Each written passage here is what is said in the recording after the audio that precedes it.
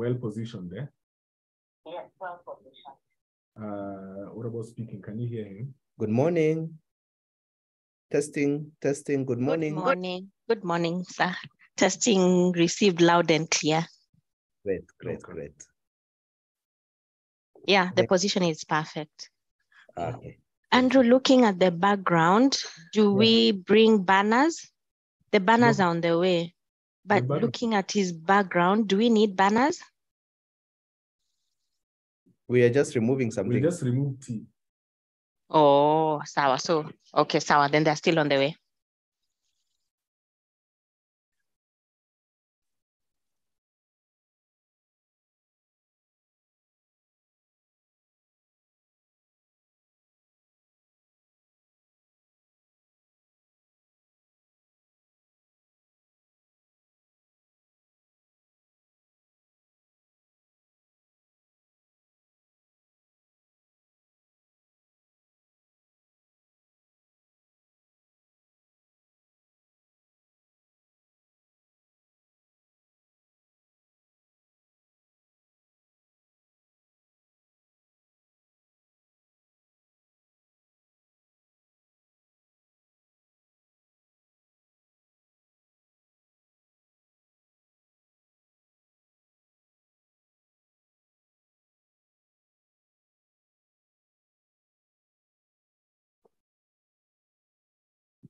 Hello, Daktari. We are now stopping the practice session so that we can start letting attendees in, if that's okay. I think it should be fine. Okay. Yeah, that's perfect. The, the way you've adjusted is actually better. Okay, all right. So we are going into a live session now. Okay, thank you.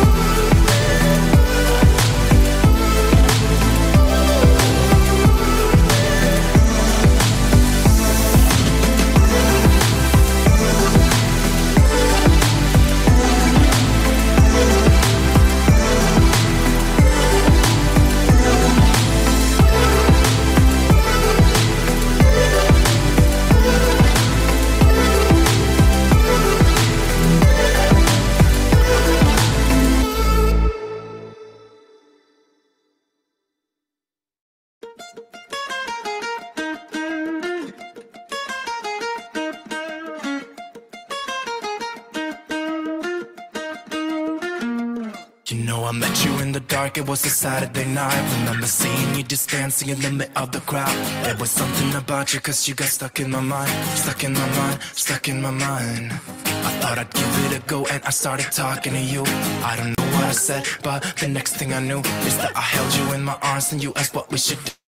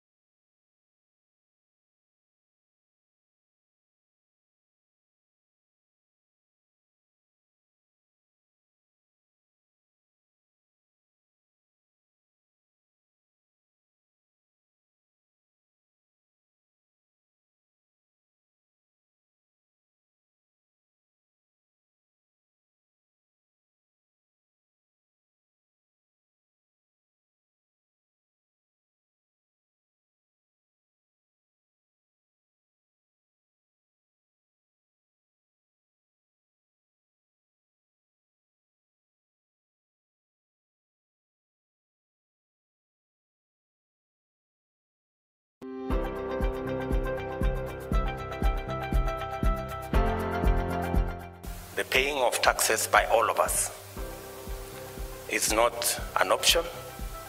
It is not something we choose. It is something we must do if we have to secure our independence and our democracy. As a nation, we are able to meet our sustainable development goals because of taxpayers' hard work and their thoughtful efforts in being tax compliant. Taxpayers remain our most valued customers. We continue our journey of simplifying tax procedures through the use of technology, including enhancement of the iTax portal. KRA's customer satisfaction journey is also anchored on improved trade facilitation to enhance tax compliance.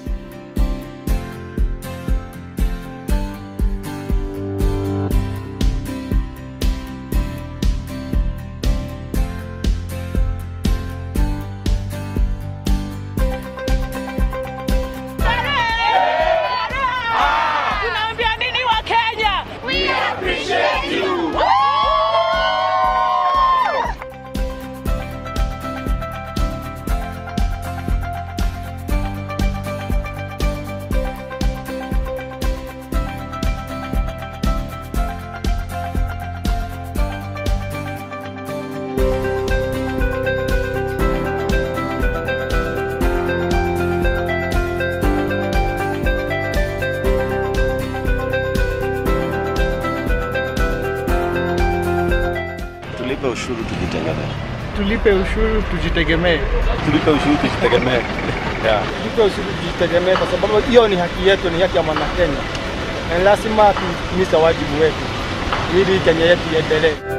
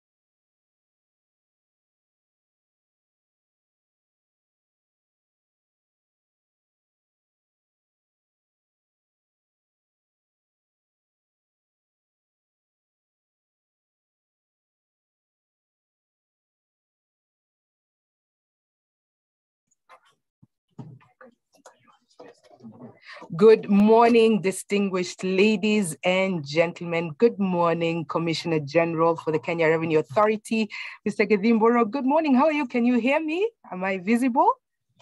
Am I audible?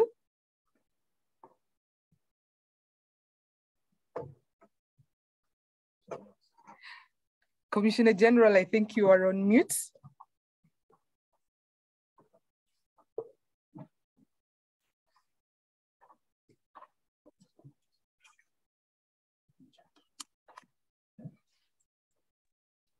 There you go. Yeah, again, thank you very much. I'm saying I can hear you very well and uh, I can see you but very well. Excellent. How has been your experience from the summit so far? was fantastic indeed. The ideas flowing were very, very, very nice ideas, very rich, rich discussions, deep. Course, you did very well yesterday as a moderator, and I hope you do as well today. Hmm. Thank you, sir. I think we also enjoyed the conversations. They were great, and, and we are grateful that you're here with us today. Today, Commissioner and our distinguished de delegates, we are going to have a public lecture. But just picking up from where the Commissioner General has left off, our summit, uh, the theme of our summit is now and beyond, enhanced service delivery to improve tax compliance. Now, yesterday, we began the summit with a discourse around risk-based compliance. We delved into tech for compliance, use of big data, and concluded the day with customs in a globalized age. We dialogued on the integrated border management and the Africa Continental Free Trade Area. To conclude our two-day summit, today we have a public lecture under the theme Transformation on Stilts Towards Tax Administration 3.0. My name is Wagani Kimani Wambai and I'm going to be your partial moderator. I will be calling upon our moderator for the public lecture today. Our public lecture will be a reflective address on KRA's journey towards the Kenya Revenue Service from an external perspective. We shall seek to draw insights from best practice from other revenue agencies that have taken a transformative approach towards being customer friendly and successfully achieved these ideals. Here now to moderate this public lecture is uh, Dr. Mugambi, Murigi Mugambi. Dr. Mugambi is the commissioner for the Kenya School of Revenue Administration, popularly known as KESRA, which is the training school of the Kenya Revenue Authority. Dr. Mugambi previously was the deputy commissioner in charge of academic and student affairs at KESRA. He holds a PhD in entrepreneurship, a master's of science degree in entrepreneurship, a bachelor of business administration, first class honors, and a diploma of uh, in small enterprise management attained from the Galilee International Management College in Israel. He's also a graduate of the Advanced Management Program from Strathmore University. Dr. Mugambi has also been trained in various areas from in South Africa, China, and Bangladesh. Prior to joining uh, KRA, Dr. Mugambi was the founding director of the Mombasa campus of the Jomo Kenyatta University of Agriculture and Technology, popularly known as JKUAT, where he served as director for about seven years. Prior to joining JKUAT, he taught at the Kenya Methodist University and also worked at Kenindia Assurance Company. Dr. Mugambi is also a publisher. He's published three books, one, Leadership Beyond the Boardroom, two, Journeying to the Horizon, and three, Teardrops from my heart. He's also published over 30 research papers in, in refereed journals. He's also supervised 15 doctorate students and many students to graduation. With such a profile, we are excited to have this public lecture moderated by the one and only Dr. Mugambi Murigi. Good morning, Dr. and how are you today? Uh, good morning, Wageni. Thank you very much for that profile. It doesn't uh, sound so much like myself, uh, but I'll accept uh, that for now. Uh, so good morning, Commissioner General. Uh, good morning, board members. Good morning, our speaker, Rex Arendsen. And good morning, everyone this morning. We are happy to have you. We are happy to host you. And uh, we are joined today by a host of people from different walks of life. We have our Commissioner General, as you can clearly see, we have our board members here. I can see Director Mukesh, I can see Director Mahihu, and a few others. We are joined by our commissioners and uh, senior management from the Kenya Revenue Authority. We are also joined by people uh, from uh, various other walks of life, including uh, the corporate sector, uh, the private sector, that is, uh, universities, and we have people from various countries joining us this morning for this very important lecture. So today's lecture is titled Transformation on Stilts uh, Towards Tax Administration 3.0. And so on behalf of the Kenya Revenue Authority, I wish to take this opportunity to welcome you to today's public um, lecture. And there are a number of things that we're going to be looking at, uh, guided by our speaker, Rex Arendsen, or Professor Rex Arendsen. And one of the things that we are looking at is uh, how do we build an effective and efficient uh, service delivery machine uh, in the way of um, a tax administration? how do we place ourselves at the center of public service, even as we mobilize resources uh, for the nation, and even as we protect our markets uh, through uh, the customs processes?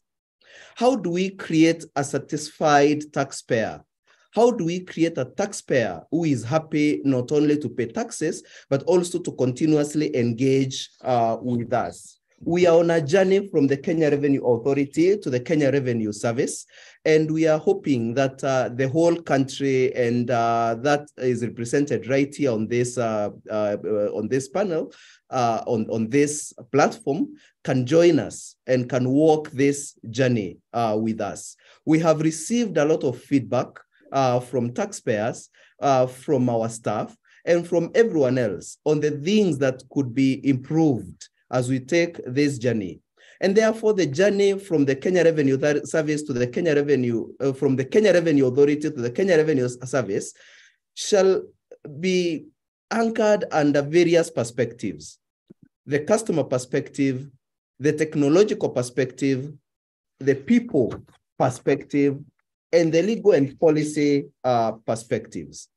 And therefore, ladies and gentlemen, it is based on this background that in this year's eighth annual tax summit, we sought from our stakeholders, from our sister agencies, from friends within and outside the tax administration fraternity on the kind of uh, lecture that we should have. And to share with us on these issues that I've mentioned, we have with us a very important facilitator, uh, Professor Rex Arendsen. And so Rex Arendsen, who is right here with us already, is a Leiden University professor by special appointment. And that means he's an endowed professor. Maybe he'll tell us what that uh, means. Uh, so endowed professor on social and historical context of tax law since June 2015.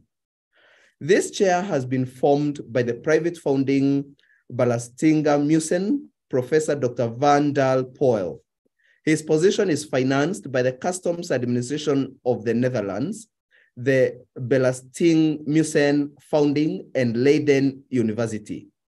Rex works for one day a week for Leiden University and for four days a week for the Dutch Tax Administration. Rex, we don't know what you do the other two days of the week. You'll tell us. The Dutch tax administration financially supports the one day per week secondment of Rex at the Leiden University. Rex was an advisor of the OECD's Forum on Tax Administration Secretariat from November 2018 till July 2022. He has contributed heavily to the Tax Administration 3.0 series of our products, and Rex has been heavily involved in transformational activities, especially with tax administration administrations. And so uh, it is my humble duty right now uh, to welcome you, Professor Rex Arendsen, uh, to deliver this very important lecture to us. Thank you very much, and you're welcome. Thank you, Mr. Mugambi. Can you hear me properly? Yes, yes, we can hear you, uh, Professor. Thank you very much. Thank you very much. And thanks uh, also to Miss, Miss Kimani. Uh, wonderful uh, opportunity to meet so many participants. Commissioner General, uh, good morning. It's uh, it's eight o'clock in the Netherlands now, nine fifteen I think in in Kenya. Let me start by apologizing because now I'm looking right into the camera and to you, but my slides will be shared here. So I will be looking to my slides while presenting and not to you. So sorry for that, but I hope you'll you'll you'll forgive me. Let me start by congratulating you, the Kenya Revenue Authority, by organizing this wonderful summit already for the eighth time. So many participants and such a challenging theme today, now and beyond. So many challenging opportunities. And I guess perhaps Commissioner General has joined the F he has been uh, engaging in some of the, the issues this FTA OECD plenary in September also endorsed many of the future outlooks we built together within the OECD. Thank you, Mr. Uh, Mugambi, for, for this wonderful introduction. Yes, I have been working for the OECD for quite a time. And to be honest, I have been working closely with two of your colleagues from your innovation department, Gladys and Mercy, who who helped the OECD um, to to build this tax administration 3.0 vision and all the instruments behind. So, um, thanks to the Kenyan Tax Authority, uh, it is what it is, uh, and you really really contributed to this uh, future outlook. Uh, the next slide, uh, please, which pretty much summarizes the things Mr. Mugambi uh, shared with us. So for those who are looking into the slides, that's me. And yeah, like Mr. Mugambi asked, what are you doing the other two days? Yeah, that's that's my family. Uh, I'm a family man, and I'm enjoying life, nature, uh, my wife and kids. Uh, to be pretty open, enjoying life. So please, uh, the next slide. So we decided to break up this lecture into three different parts. And actually, you are looking onto a road along a Dutch dike, looking into the future, more or less. And uh, well, you invited a professor to speak, so so I would really much like to to start with a bit of theoretical background, which helps us understand, I think, what is tax administration all about and what the beyond part of your discussion might look like. Before I then dive into the TA 3.0 narrative and uh, together with you um, explore what next steps for you might might look like. And uh, in, in, between, perhaps the moderator can assist us with, let's say, a very quick Q&A just to keep us aware, keep us uh, engaged. So let's start with a bit of theoretical background, please. Next slide. Yeah, the next slide, thank you. So I just summarized here two of my publications, happy for you to read, of course, and they are both more or less trying to answer parts of the key scientific question behind what the future of tax might look like. And that question is which mechanisms, powered by digital innovations, may lead to fundamental changes of the implementation organization of tax administrations. So we are really looking into the transformational impact of digital innovations. Well, let's have a look on the next slide. Because if we talk about this journey And, and both the moderator, Mr. Mugambi, talked about a journey. And the KRA already is, is far along this, this journey towards an aspirational state of tax administration. But if we look to this societal journey, we of course are in the midst of a bureaucratic age, and we all wonder what the next phase might look like. And we already see, driven by these digital innovations, things happening in a kind of post bureaucratic age in which ITs and IT solutions empower people. They're bringing back power to the people, which is a great thing and a bit of a risky thing for some, and a bit of a, well, it makes them nervous how to cope with it as a society, as a leader. But it's all about bringing power back to the taxpayer, to the people within your organization, to perhaps move in a couple of decades to a much more network centered organization and country, perhaps. Very challenging. And within this, let's say, societal development, we will have a closer look at what tax administration now and beyond might look like. So the next slide, please.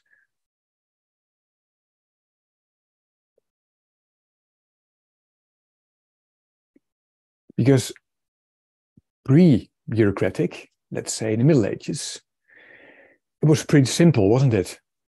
This is, this is a snapshot from a uh, cathedral window in Belgium, which shows you, let's say, the levying of, uh, well, pretty much taxes, very much when things happen. You arrived at the marketplace of a large town in a European city and you were taxed. Things were measured, things were weighed. Uh, in your barrel, it was it was more or less assessed what was in, and uh, the amount due was calculated, and you had to pay on spot. That's a pretty easy way of levying tax, wasn't it? And I think in Africa you will you will have seen the same kind of direct levying mechanisms, with all kind of margins, of course, and bargaining and negotiation, but it was on spot and you paid and it was settled. Now, driven by all kinds of administrative innovations, we arrived, like the former picture showed, in a kind of bureaucratic state, the bureaucratic state we are in at the moment With lots of transactions, a massive growth, massive growth of economic transactions. And what we see, we've seen from a tax administration perspective, where in this picture, you might say the goods, the tax data, and the money, well, they fit it all in this picture, and they came together in this tax related transaction. We now see that these three elements, goods and services, tax data and money have split up. And the impact of this split up is the existence of a lot of loopholes, a lot of time lapse in which you can cheat, in which you can move profits. So the tax gap we are facing now is pretty much a time lap, a time lap between the separation of these three, let's say, tax parts and the connection often within the tax administration.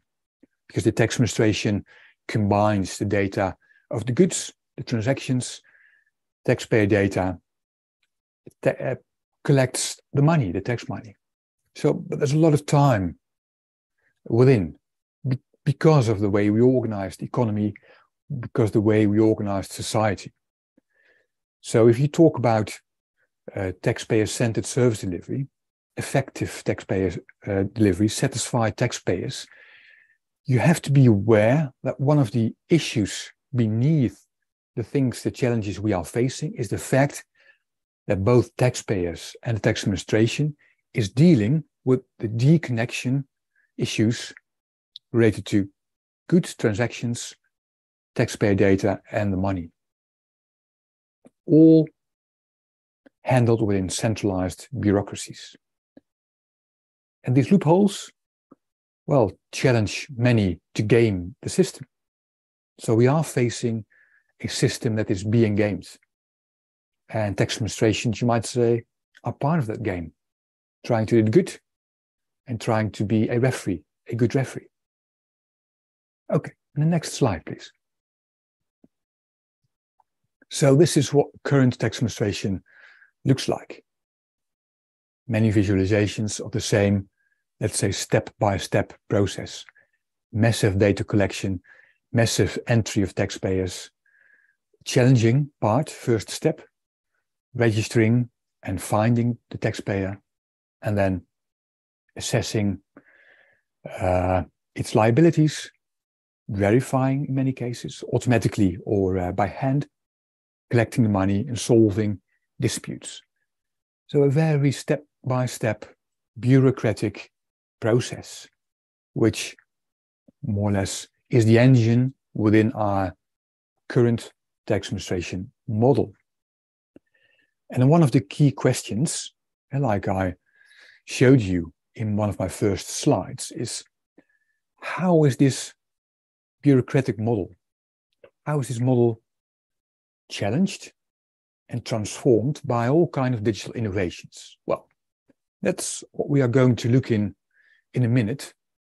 And we, we're going to have to look to tax administrations in a bit more different way and a different model will help us. I'll, I'll show you in a minute. The next slide, please. Because we have to be aware that there's a big difference between digitalization, which is, let's say, the current state of the art way of, of trying to enhance service quality, pretty much trying to empower uh, organize lean paper paper based and paper oriented processes. So the flow of the process still say, stays the same but now in an automatically manner gaining a lot of efficiency gains however still a step by step process. Digital transformation however and we're seeing this happen all around society already, creating all kind of new business models, platform business models, for example. Digital transformation is really about changing societal and economical models and really changing the way people interact, often in a very fuzzy, networked uh, way of organizing. And uh, if you're interested, you could look for the OECD publication on vectors of digital transformation really interesting to get a better understanding of the engines of the of the things behind this digital transformation and the, the, the great challenges society is, is facing uh, currently. And the tax administration 3.0 model the OECD has launched is pretty much founded in these kind of uh, deeper mechanisms and understandings. Let's have a closer look at the next slide.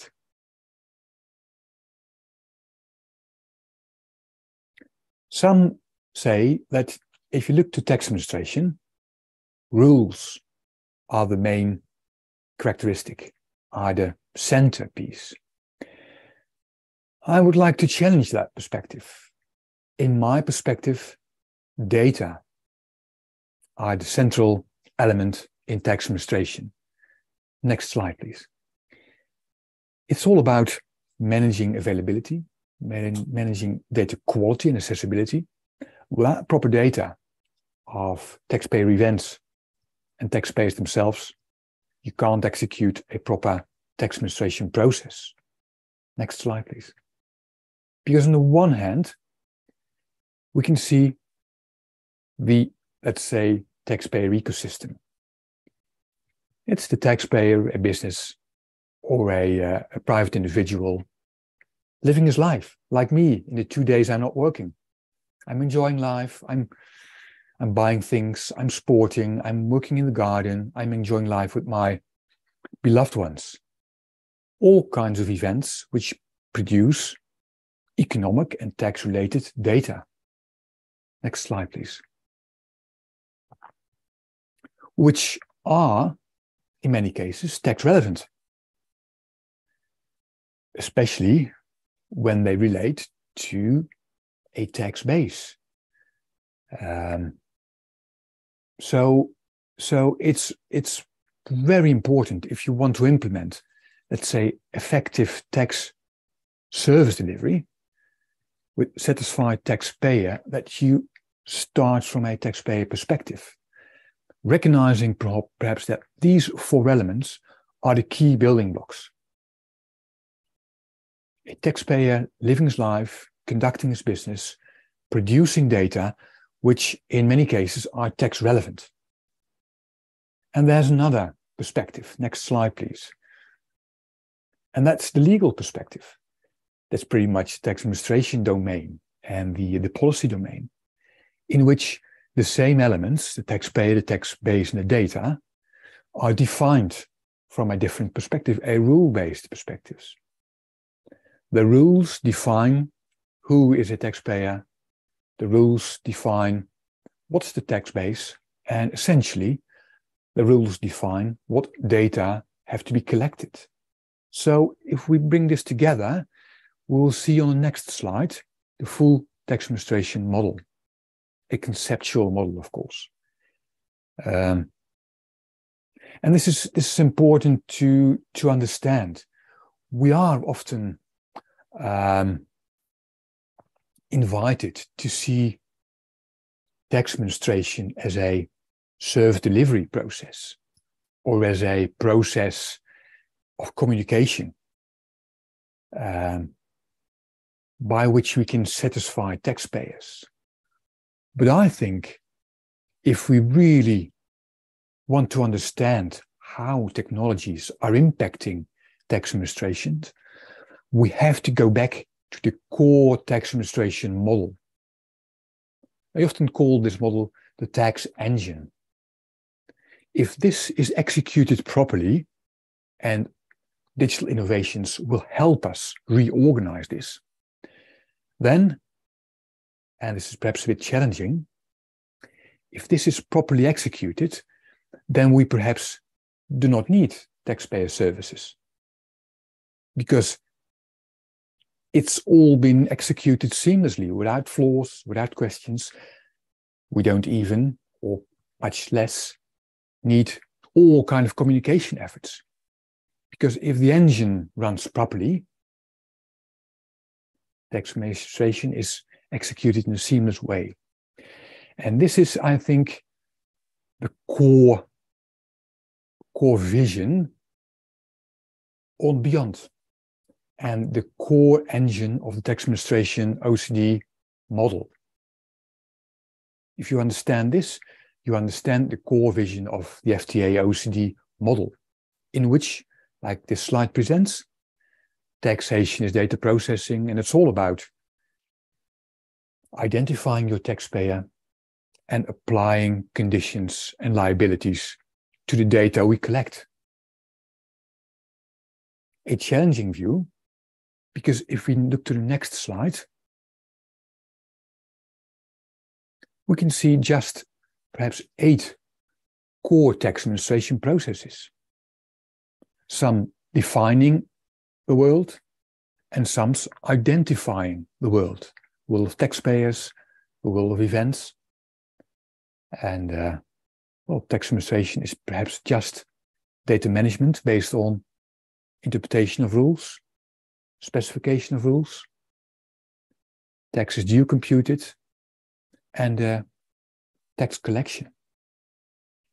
And if this is done in a proper manner in the future, powered by digital innovations, then the next slide will show, will show that all kind of supporting processes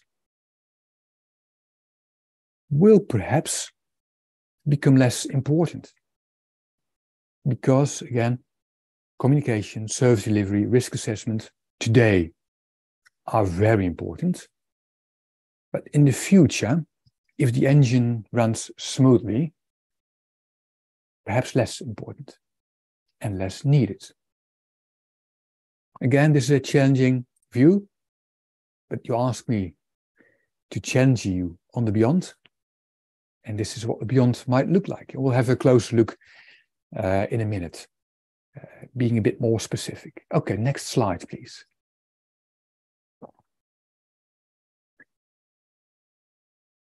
Like I said, the OECD has published a list of vectors of digital transformation, and uh, we can already see many of them challenging the current tax administration model.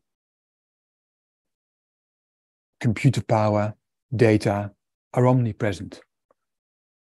You could implement tax administration processes wherever you want. Taxpayers want instant answers and instant services. Wow, how to facilitate that? Uh, ICT tools already facilitate autonomous, intelligent decision making. A lot of challenges, a lot of risks, a lot of opportunities. How could this help reorganize and re implement this tax engine I just presented?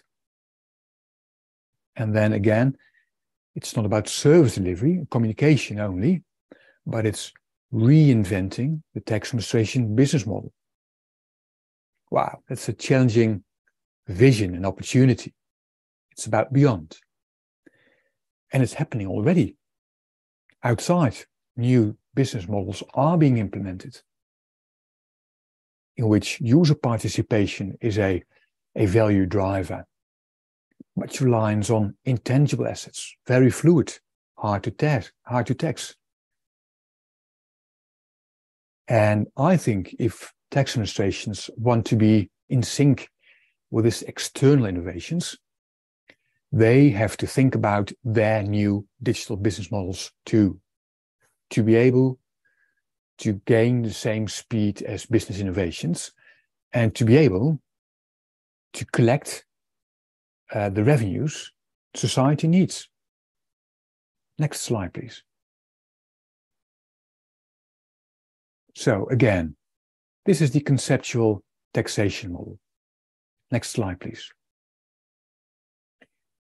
We have been bringing data to the rules. Uh, you, you'll, you'll recognize that insta- in, instantly, I think, your tax administration, like all tax administrations worldwide, is a rule engine, is a bureaucratic organization which implemented rules in its tax systems and collects massive amounts of data and processes it in a centralized organization. So today's model, you might say, is all about data to the rules. The beyond model, the next slide, will be about rules to the data. And this will really challenge the future pretty much the tax administration role. Probably this role will change from a data collection function and a computational function much more in an outward looking rule sharing organization in which they are encouraging others to implement the rules in their systems to be able to levy tax where the events happen.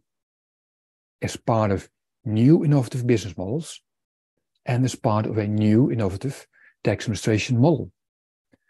So the big, big challenge in the future, and that's really one of the key drivers of the FTA OECD model, is the transformation of a data to the rules model to a rules to the data model.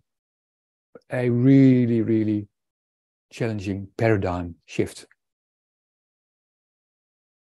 Let's have a look to the final slides of this first part of my lecture, because I think the two other challenging paradigm shifts. One is the events perspective. This is just an example, but pretty much others as well. This is an example from a, let's say, innovative company which designed a value layer, uh, a standardized layer on top of the internet, on top of the core technical uh, IP set of specifications. It's a kind of economical layer, a unified economic transaction protocol. Just an example.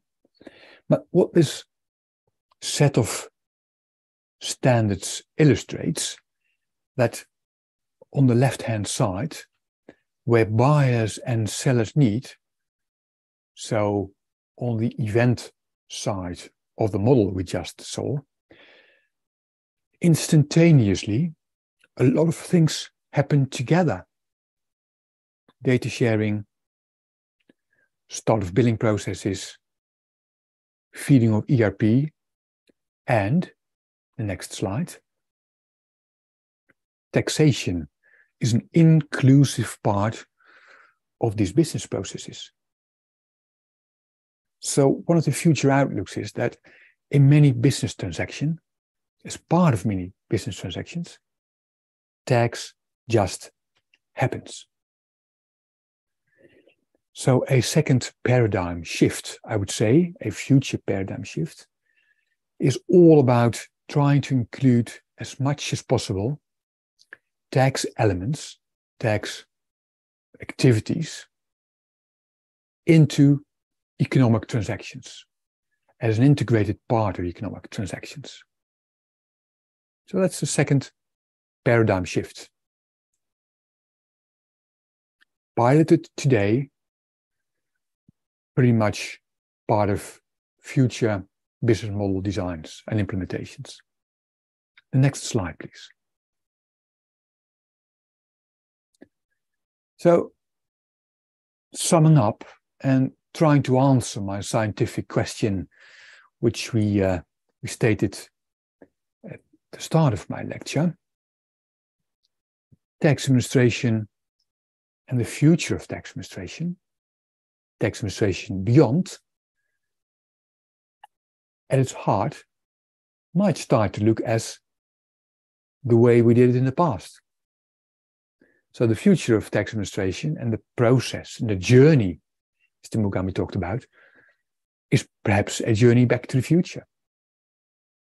Uh, it's all about creating instantaneous taxation, uh, taxing where it happens, where people are, where the money is, where the data are, tax inclusive uh, processes and activities instead of in a hierarchical bureaucracy. Rules to data, like we explored. And in the end, I think the world, and we can see it happening already, the world and the economy is more and more becoming a, a complex network. All things integrated, technologically, people, the economy. And instead of trying to fight this complicatedness and only trying to focus on simplicity, I think tax administrations should try to embrace complexity and become integrated partners of this complex networks and be there. Uh, but that's all about perhaps even a far future. But that's, I think, the horizon we're, we're heading to. Tax as an integrated part of societal processes, because that's where society is heading to, powered by all kind of technological uh, innovations. The next slide, please.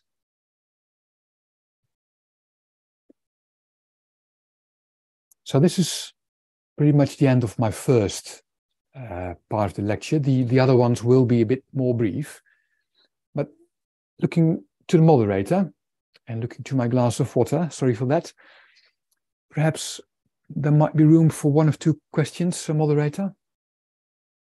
Ms. Kimani, what do you think? Oh, sorry, uh, Mr. Mugambi. Yes, yes, uh, Professor. Um, uh, uh, could we perhaps uh, go to the end and address all the questions towards the end? Or uh, would the CG want to ask a question? I can see the CG is on. C CG, CG, do you have a question? Yeah, thank you very much, uh, Professor, for a very deep conversation, very clear articulation of the, the future of taxation, where it is heading. I just wanted to have clarity on one point, which is in, in the previous slide on tax inclusive network instead of hierarchical bureaucracy, just to understand a little bit of that. And uh, yeah, a little bit of that. Maybe if anybody else has a question, we can take them at this stage so that we don't lose them. Hmm. Thank you very much. Very interesting and challenging question. And um, again, Commission General, let, let me state before I start answering the question that that's perhaps a bit of a personal uh, uh, intervention, but I'm happy to share that I have been cooperating very um, effectively and with very much pleasure with employees of the KRA when I was uh, working for the OECD. It's it's wonderful to see the engagement of the the, uh, the Kenyan tax uh, authority into the OECD's let's say partnership model. And uh, Gladys and Mercy were of great help, members of your innovation team, and uh, that really helped to build an inclusive uh, narrative. So, uh, so I wanted to share that by heart uh, to you. It was a wonderful journey for me personally. It was great to meet uh, two of your uh, great staff members. Uh, thank you very much for that. Um, let me now answer your question. Um, yeah, this second paradigm shift pretty much resonates with one of my first slides, which presented the societal development, perhaps from a post bureaucratic state, the bureaucratic state we are in at the moment, and a, and a post bureaucratic state, so pre bureaucratic and post. The current bureaucratic way of organi organizing society is pretty much a, a, a societal and organizational model driven by hierarchy tax administration is a is currently organized in a quite hierarchical way, centralized way. Uh, they have computer power, they have the power, the decision making power, and all the data stream towards this central node, which is pretty okay because that's what technology till now only was capable of we have to, uh, to use a lot of computational power, which we can only, let's say, activate by implementing it in a centralized bureaucratic organization. So very sound and very okay. However, if we look to the future, and if we look to the way digital innovations are already challenging uh, private business models, which are pretty much network organized, we all expect that, that societal and governmental business models, operating models, will transform pretty much in the same way. Of course, uh, they will still be, let's say, the, the primary governance function within society, but much more as a network partner. So they are granted with additional rights, uh, by Parliament, um, but they will much more become integrated within societal networks and societal processes. And um, and one of the ways I think um, digital innovations will help implement this model is by integrating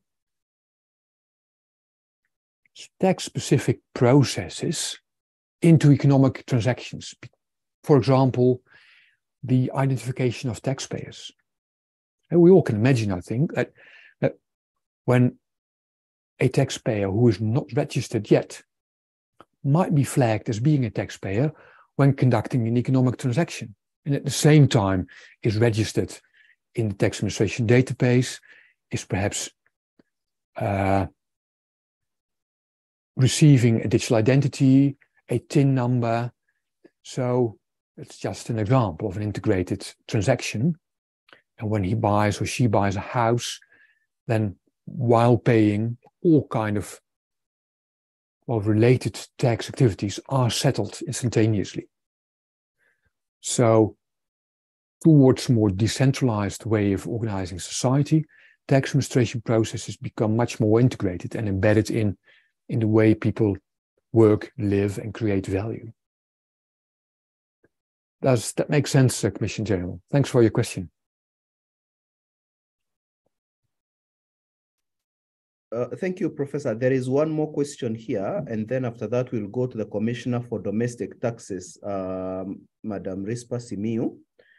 Uh, so the question is, digital transformation, especially in the context of um, embracing complexity, like you said, can be very expensive and it requires a lot of uh, patience. Yet, uh, uh, tax administrations need to start collecting revenue immediately. Yeah.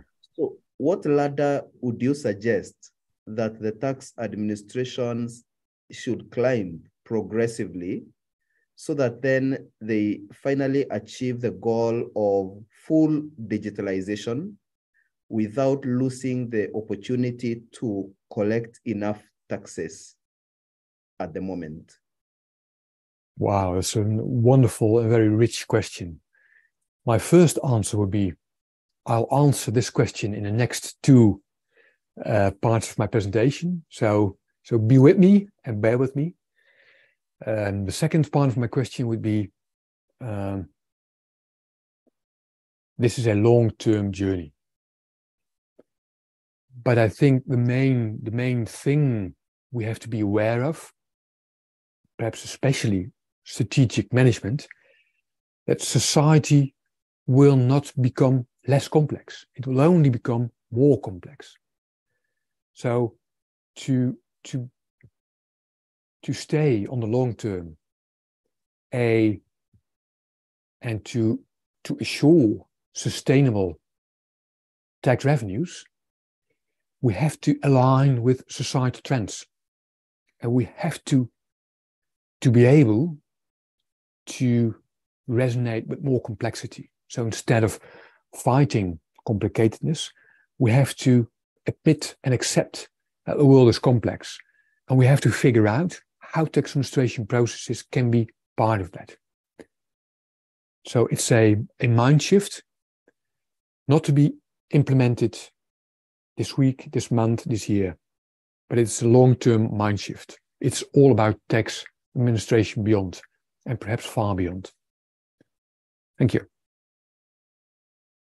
Thank you. Let, let me now invite our chief uh, tax collector, uh, Commissioner Rispa Simiyu.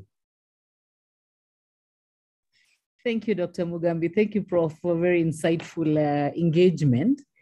I have two questions, very brief ones, but let me start. The second one is linked to what you have just said. Ah, thank you. About embracing, uh, what did you call embracing uh, complexity. Yes. And I'm struggling with that because ideally, what we are doing is trying to simplify processes to make it easier for taxpayers to comply and ourselves to apply then maybe the rules to the data so that then it's easy. I mean, you know, when a taxpayer, even typically, you'll be surprised, even sometimes ourselves, if it's something you don't do every day, that whole process when you have to go through mazes and what, you're like, ah, let me pack it. Yeah, exactly. So how then do you reconcile that? So Yeah. allow me to then quickly to the first one. You when you started actually, of course, you've brought it together when you say data and not rules are really the pivot, the, the center of tax administration. And we should be applying rules to data and not data to rules. Yes. Would I be wrong in saying that the two um, non beats the other in that I would say they're equally important in the sense that when you think about legislation, for example, legislation is typically rules. And certain rules have to be in existence so that they define certain boundaries within which we operate, both from a tax administrator's perspective and from a taxpayer's perspective. Um, maybe just weigh in on that a bit. Yes. Thank you. Thank you, madam. Wonderful, challenging questions. Wow, wow, really, really excited. That's the fun of presenting. People always help you understand your own narrative a bit better. And uh, that's really, really, really helpful. Let, let, let me start by answering the, the last question. I agree. Uh, and let me let me explain uh, why I agree. What what I like about your way of in, in, interpretation is that bringing data and rules together. Let's say that's more or less a kind of informal definition of computation. Taxation is computation, and it's bringing data and rules together. You have to decide, you have to compute. And I think the core transformative, um, well, let's say, change is moving this computational marriage of rules and data from the bureaucracy, the centralized bureaucracy, towards societal processes. And yes, I think it's spot on. Rules and data are closely connected because if you don't bring them together, you won't be able to tax. So the, the bringing together is the core of taxation. Taxation is computation in that sense. So the, the paradigm shift, rules to data, is, is, let's say, from a deeper understanding, it's moving the computational part from tax administration to the transaction, which helps you reduce time lapse. And in the end, which helps you in the end reduce tax gaps. Because we are removing time lapse in which taxpayers can, well, fraud, cheat, repackage money. So that would be my answer to your uh, second question. And yeah, the first one, I couldn't agree more. I mean, yes, please do simplify. However, and and and yes, simplification has big big, let's say, uh, opportunities for both tax administrations and taxpayers and in their engagement. However, it is a strategy which fits very well in the current bureaucratic state of tax administration. So it's it really fits for purpose today. But if we're looking to what tax administration in the future, and not the next couple of years, but 10 years and beyond, but well, you have to have a, a target on the horizon. Uh, it's moving the oil tanker slowly. Uh, then we have to realize that it's not only about simplification, but it, it, it's all about becoming part of a society which is becoming more and more complex. And we have to be part of that complex set of processes, networks. If you, well, if that makes sense. Thank you. Thank you. Looking, looking to the to, to the moderator. So, sorry for my blunt intervention, uh, Mr. Mugambi. Uh, might it be all right that I start the second part of my presentation because I it, I could imagine that that might answer some of the questions already, but up to you. You're um, in charge of the process, of course. Sorry for my blunt intervention. Yes, uh, uh, Prof, there is a lot of interest in, uh, in, in the presentation. And I'll just ask that you answer just two more questions and then we proceed uh, to the next session. Happy and to. there are hundreds of questions from uh, the, the, the over 1,300 people Oh, wonderful. in this in this forum.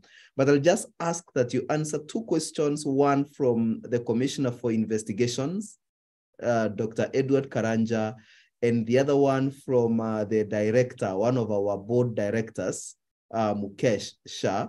Uh, please, uh, let's keep the questions short in the interest of time. And then later on, I'll also go to the to the other questions, maybe once you've presented uh, your second um, session, I will go to the other questions from our, our chats and uh, from the rest of the people. Uh, Dr. Karanja, shortly, please. Okay, thank you. Thank you, Dr. Mugambi, and thank you, Professor. I think mine is not really a question, but uh, is to have a deeper understanding of what you've talked about that uh, uh, bringing taxation to the economic activities. And for me, I think that's a game changer because it's going to reduce even the cost of compliance by the taxpayers. It's going to ensure that tax is corrected where the economic activities is taking place. And in my mind, I'm thinking, is this the same concept, for example, when we have um, withholding taxes, taxes at source? Is it the same concept, for example, when we have uh, import duty, where we get tax from the source when the economic activities are taking place? And I believe this will be game changer because, of course, taxes will be paid in good time. We'll have very, very few incidences of enforcement and tax arrears. So I wanted to be sure that that's the concept of embedding the taxation in the value chain and ensuring that when the economic activities is taking place, that is the time we take our taxes. Thank you. Thank you for a spot on question. And, and yeah, may I compliment you with your deep understanding of, uh, of the way I try to phrase my narrative, because I couldn't agree more. Yes, these are great examples. Uh, the the pay system, eh, the the uh, pay as you earn system in, in in the wage tax scene is is another example of this kind of withholding tax. Uh, one one caveat: these examples mirror, of course, the way in which we are able to implement current taxation processes. I think that future technology innovations, and already current technological innovations, like for example the blockchain, will help us to understand these kind of mechanisms in a much more seamless, swift, integrated manner. But the examples you presented are great examples in the way we are already able to implement these kind of paradigm shifts in current tax administration processes. So my answer would be yes. Thank you. So, Pro Professor, I will now uh, request Director Mukesha to ask his question. And I'm quite snookered here because I can also see the Deputy Commissioner General of Tanzania, uh, Swalehe, raising his hand. I think Swalehe's question will be the last one, and then we'll go to the next session after, after, after Director Mukesh. Thank you, Fred. Um, Professor, good morning, and, and uh, it's a pleasure to e-meet you um, in, in, in this global environment that we can now operate in. Uh, my question, my comment is, mine is more of a comment uh, than a question. I, I listened to your uh, comment on complexity in, in the in the future uh, environment, and and perhaps I would say even in a complex and a compli complicated scenario, if we can keep things simple and go back to basics, uh, the fundamentals will always remain pretty much the same. And if we can break it down to simple components, it makes it much easier to understand and resolve an issue. Um, I think I would say if we if we over complexify something, uh, it, the solutions start getting more complicated. Yeah. and and therefore it becomes a bigger problem than it actually is. Uh, that that was just my experience and, and comment that i felt i should uh, uh, share. Thank you. Thank you. Thank you very much. Thank you. Thanks for your engagement. Uh, and and i think i understand what you mean and and i think i agree. Um, i think that the two two types of layers or two types of perspectives on complicatedness. Um, one is perhaps the layer of, of tax administration itself, the complexity of rules and the and, and, and the the way we can simplify all kind of processes, procedures, and and rules. And the second one is societal complexity, which is pretty much out of control, even I think, for many governments. It happens. People become more networked, businesses become more virtual. Um, and the factors of change, the OECD list, very, very interesting, I think, for you to, to, to, to gain a, a much deeper understanding. Um, um, really challenging list. Eh? It's all about uh, scale without mass, for example.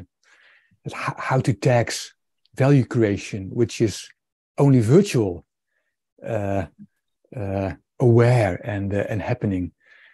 Um, and these are all examples of an, let's say, a second layer of complexity, yeah. in which money flows, is invisible, is instantaneously there and gone, and how to be there from a tax administration process, not from an organizational process, but from a, uh, but from a um, an engagement and um, and uh, and and core tax process. That's why I framed my model as the tax engine. Um, but we can we we have all kind of engines. T- today we have, of course, the engine in a physical way in in enterprises, and we have these tiny, tiny little nano engines. And I could imagine if we dream along, that tax administration engines might be that small, and we can plug them into uh, economic transaction processes, which are for us very complex, but for these algorithms and intelligent nano tax bots might be okay because they're embedded there.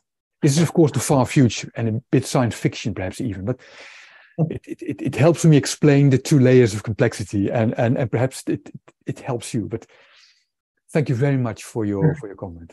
Thank you. Thank very you. challenging. So, Professor, what I understand you to be saying is that the journey has to take us towards seeing all transactions as they happen. Yes, spot on. Thank you oh. very much. That's a great summary. Thank Okay. you. Very helpful. Mr. Swalehe, you're welcome. Uh, please make it short. Thank you very much, uh, Dr. Mugambi. I really appreciate uh, uh, the public lecture uh, uh, put by Professor Rexy, and uh, particularly on the transformation uh, tax administration uh, from pre uh, bureaucracy to post bureaucracy. And uh, the way he has taken us on the importance of the, of the data in tax administration. My question is, uh, uh, we have went through the pillars of uh, an effective tax administration, uh, which were put to guide the tax administrators. But now I see now we are moving from uh, the, the, the, the way we, we, we, we, we work to administer the, the, the taxi, and now we went to the digital environment. I want to ask you to Professor, will you be able to go through the pillars of tax administration in the, in the, the digital environments? That's the first question. The second one is on uh, on uh, on uh, on uh, on uh, on um, on accuracy of the data, especially in this environment of digitalization where our systems are exposed uh, to various uh, um, users. Uh, what should we, the tax administrators, do to ensure that uh, the data remain as uh, useful, remain as accurate and useful to tax administrators, leave alone the, the, the, exposure of, the, of, the, of that data in the, in the digital environment. Thank you very much. Thank you very much, Mr. Swilly. Yeah, wonderful and and and, and great challenging questions. The the pillars of of digital tax administrations will be part of my next two presentations. The first one will explain which core building blocks the OECD FTA together with other countries designed. And the, the third part, the last part, will present a model which might help you as a tax administration authority to assess your own current status in respect of this set of pillars and what might be next steps. So I will present some tools which might be very helpful to you in your journey, because every country and every tax administration has, of course, its own journey, uh, given the way you are at the moment. Uh, so thanks for asking about the pillars. So I will, will present them in a moment. Yeah, and data accuracy, I think that's that's one of the key challenges, not only for current tax administration, but also for future tax administration. Um, the my plea for much more decentralized tax administration is, among others, driven by my, let's say, search for data accuracy. And I think if we can implement tax administration as close to the source and the events, then we can assure data accuracy and we can reduce the time lap in which others can tweak data quality. So we have to be there as tax administrations where the data uh, naissance, where they happen. However, that's the future outlook. That doesn't help you in your current challenge at the moment because it's and it won't, won't solve your current data accuracy challenges. It's a very, very harsh issue. Uh, one thing I can see happening is that building trusted partnerships with third party data providers is key, with banks, with uh, intermediary service providers, which are closer to, let's say, the the moment of transaction and and uh, the creation of data than many tax administrations. So creating partnerships might be a uh, a next step. But again, the the model I will be presenting uh, in a minute will perhaps help you to assess the best next steps for your organization. So, uh, well, part two already starts. So thank thank you very much, Mr. Swilly, for crossing this bridge, helping me cross this bridge. And uh, I really want to congratulate the organization and uh, our moderator, Mr. Mugambi, with such an engaged audience. It's it's amazing uh, how inspiring this is. Uh, I think for all of us. So uh, thank thank you very much. Thank you, Professor. I think you can proceed. I, can I propose that we finish the next two sessions and yes. then we can go to the questions? Yes. Okay. Proceed, Prof. Thank you very much. Thanks for your assistance. The next slide, please.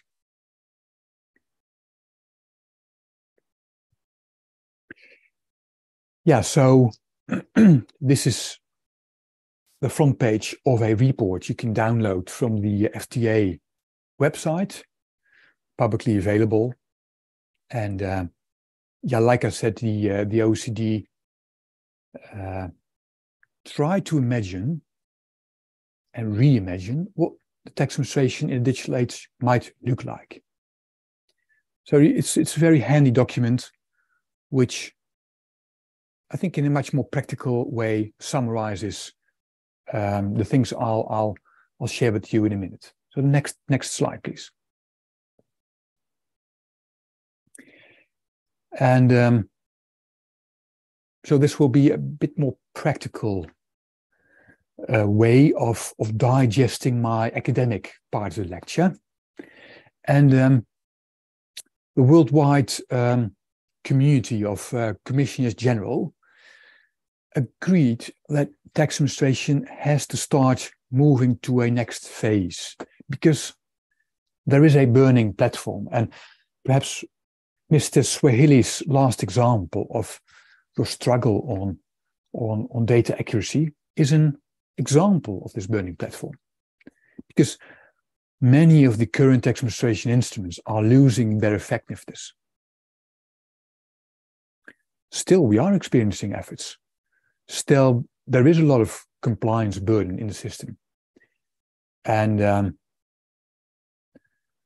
tax administrations are investing in taxpayer service qualities. But somewhere, I think we are reaching the point that there is no return on investment anymore. You can keep investing in enhancing service qualities, but it won't enhance your compliance rates or revenue rates. If you do what you did, you get what you got. That's basically one of the, the issues tax administrations are becoming to face. So one of the elements of the burning platform, the next slide presents the second part. Like I presented, we are facing new challenges, an abundance of information, societal expectations, which I guess challenges tax administrations on the long run to open up isolation, to open up bureaucracy, stop with collecting this massive amount of data because frankly, it will be and it will become too much to handle, too late. And we have to move and engage with societal stakeholders and be there where things happen and make sure tax happens where the taxpayer is. Again, a long transformative journey, but we can start now. And these are core burning platform issues elaborated on in the report. So if you want to know more, happy for you to, to, to download the report and, and uh, read the report. But, but this is the core, let's say, of the burning platform many tax administrations will face or are facing at the moment. Next slide, please. And our dream, our, our vision is that much of the tax administration processes is, and this might be an example of simplification, has become invisible. And what happens below the line to achieve an integrated, frictionless experiences is invisible, burdenless, and seamless for taxpayers. Is just a way of visualizing the vision. It's uh, a visual from the report. And the motto is, well, text, text just happens and is embedded, as you can see in the middle, an embedded part of natural systems. So tax integrated in the taxpayer ecosystem. The next slide, please.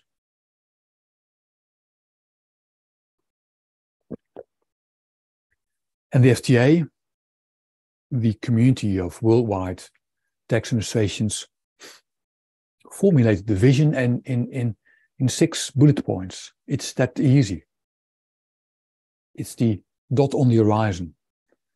Tax administration will become more and more embedded in taxpayer systems. It will become a part of a system of systems. So not only will there be one dominant network party, uh, party, a centralized tax administration? No, it, it will become much more part of a fluid, complex network. And there's again the complexity element in the in the vision. And by doing so, it it will be a real-time tax certainty provider, both for citizens and for businesses, because time lags diminish instantaneous taxation will happen and you get certainty when you act instead of waiting for days, months, or sometimes years. And of course, there is this human perspective.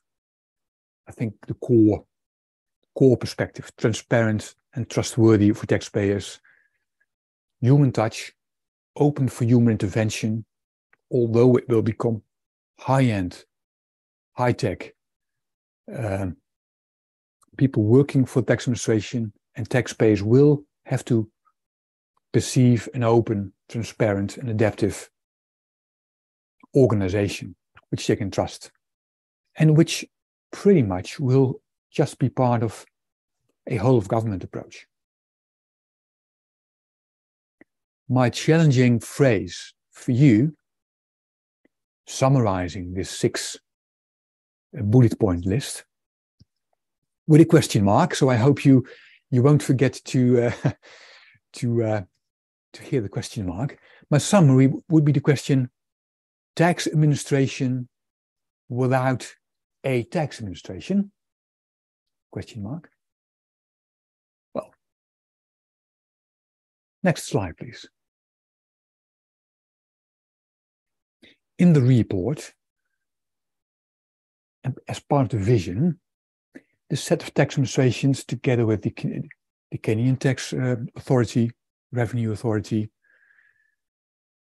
try to create a tool helping tax administrations to understand where they are now and what the vision looks like, creating a common language. And in this tool, let's say represented in a five stage growth model, five stage maturity model, the final stage, the aspirational stage, more or less phrases the vision. We'll come back to that later. But if you're interested in the vision, you can have a look at the tool, the report, and the aspirational state. The dot on the horizon describes the vision. The next slide, please.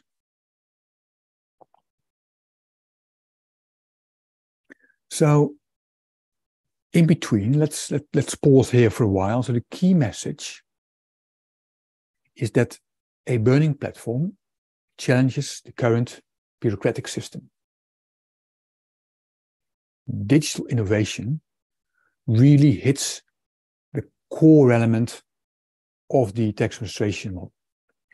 And it will have systemic impact.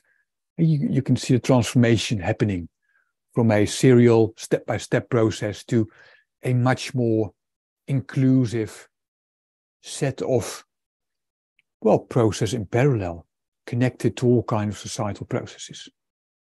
Not today, not next year, but in the future. And we have to migrate step by step. Really trying to embrace the paradigm shifts, reimagining the tax administrations in a digital age. So this will help you design your long-term digital strategy, really long-term, and to calibrate, I think, the core investments you are planning to uh, to materialize. Just to calibrate what you're doing the next couple of years. Are we in sync with long-term vision? It won't solve today's problems. I'm really sorry for that. But hey, you hired a professor, not a consultant. So bear with me. The next slide, please. One step back, please. Uh, oh, sorry, this is the next slide. Oh, great. So I think it was Mr. Swahili who, who, who mentioned the pillars, not the policy pillars, but tax administration pillars. And the, the vision and the future vision try to, tries to break down tax administration into six core building blocks. You can see them in the midst. The building blocks are digital identity, tax rules, taxpayer touch points, governance, new skill sets, and data management, which helps you to look at your tax administration from a different angle. And the tools the OECD designed resonate with this building block model. Next slide, please. So after launching the vision, uh, the last two years, the, uh, the community of tax administrations worldwide um, has been working on, on, let's say, the delivery of, of seven products, a set of maturity assessment models, which I think are really, really useful for you. Uh, we'll, we'll dive into them in a moment some international solutions, three products, Again, you can find them on the FTA publications website. They were launched uh, end of September, so really fresh and outward looking. And there are some capacity building information sharing products, I think really helpful for you perhaps as well. And you can have a look at the FTA website uh, and all part of the action plan, the FTA together with tax administrations around the globe uh, built. So this is, let's say, a bit of a toolkit which details the vision and which might help you to understand where the world is at the moment and where tax administrations are heading uh, and all open source products. So if you're interested, have a look at the FTA publications website. Um, so, so please let you let, let, let you be inspired by uh, all the good work tax administrations have been doing so far. Uh, next slide, please. We'll now, now dive into some of the details of the first report, the first maturity assessment product, the digital transformation maturity model. It's a detailed description of the vision, and it's already used by 55 tax administrations. And I'm, I know for sure that the Kenyan Revenue Authority used the model. I'm not sure if other African countries use the model too, but this one you can download from the website and you can use as a self-assessment tool. So it really helps you, for example, Mr. Swahili, to, to assess your current position. And it will really help you from a building block perspective, from a pillar perspective, to understand what next steps might, might be. And it will help you, and you can reach out to the FTA, I think, to engage in peer-to-peer learning, in peer-to-peer co-creation. Well, let's have a closer look at the model. Next slide, please. For example, one of the six building blocks is the taxpayer touchpoint building block. And the maturity model presents a, a growth strategy towards the aspirational states. Well, for example, it says, well, these touch points are moving from paper forms, websites, towards in the future, touch points which are embedded in salary software, perhaps in individual, private individuals' bookkeeping instruments. So tax administration inside. It will shift from reactive to proactive. Tax administration touch point will signal when you have to do what, will warn you for faults and flaws. So it will become a, well, more or less a, a an embedded societal assistance. Next to the things, in addition to the things you do in normal life. And it will support inclusiveness and accessibility very, very important. So, so the maturity model product shows you in much more detail the path of growth. For example, the next slide.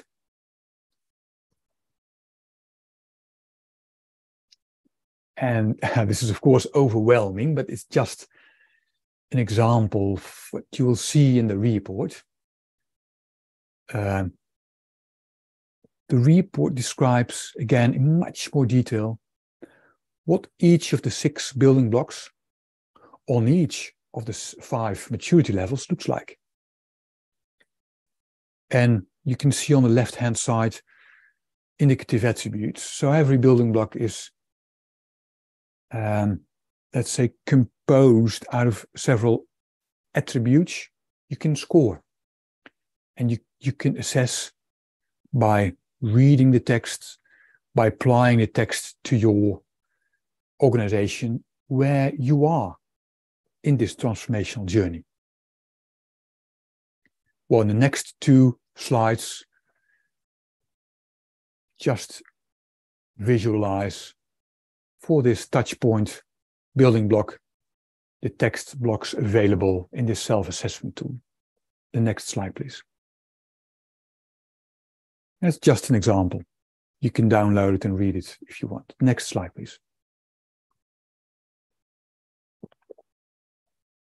So that was a short introduction to the digital transformation maturity model. Happy for you to download it, to use it, and you can always reach out to the FTA Secretariat for assistance. Happy to share, and, and I'll come back to, to, let's say, the scores of the 55 tax administrations in my third part of the lecture. So bear with me in a, in a minute, and we'll come back to that, I think, in, in five minutes. But let's have a quick look to the second instrument, the Inventory of Tax Technology Initiatives. Next slide, please.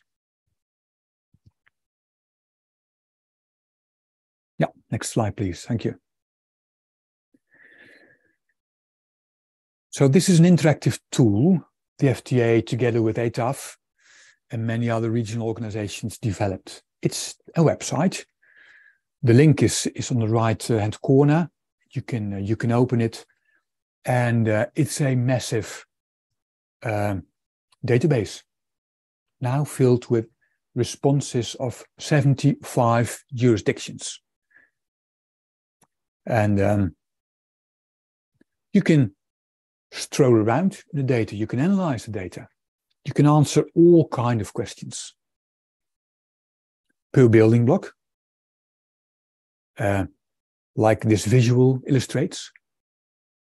You can see in the left top corner taxpayer touch points presented. Not sure if you can you can read it, but the question and the dots mark the question whether tax administrations have a virtual assistant to respond to taxpayer queries.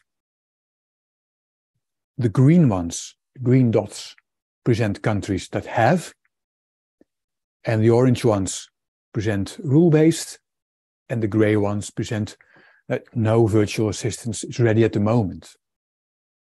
And you can see a great global spread. And you can assess where you are, where others are, and you can perhaps reach out to others to learn um, and start co-creating. So again, a very useful tool perhaps, just two clicks away from where you are now. So uh, please feel invited to uh,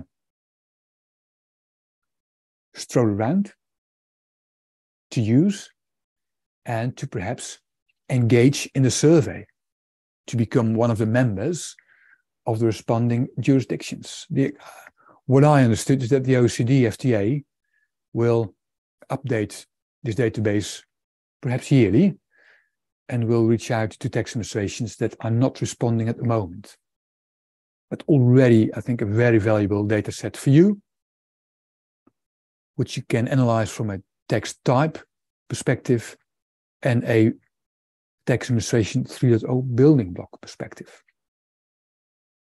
So, very practical tool to help assess where you are and what might next steps looks like look like. The next slide, please. This more or less finalizes, I think, my second part of the lecture. This is the outcome of September's FTA plenary uh, meeting, in which commissioners agreed to start a new phase, in which a strategic framework will be launched, new technology tools will be, will be implemented, and uh, together practical pilots with, for example, sharing a gig economy platforms will be started. So you might want to consider joining FTA knowledge sharing sessions in which you will be updated on these next steps and in which you will probably be invited to join up and co create. So uh, pop an email to the FTA Secretariat and you will, they will bring you in touch with the, the proper delegates. Uh, the core message here is that phase one is finalized with the vision and the seven products.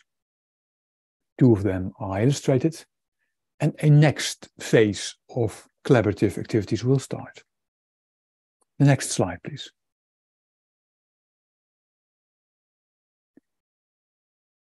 Like discussed with the moderator, we'll skip this set of questions and move on to the final part of my presentation, which is a perspective on, no, let's say an action perspective. What could you do based on my academic and my FTA perspective?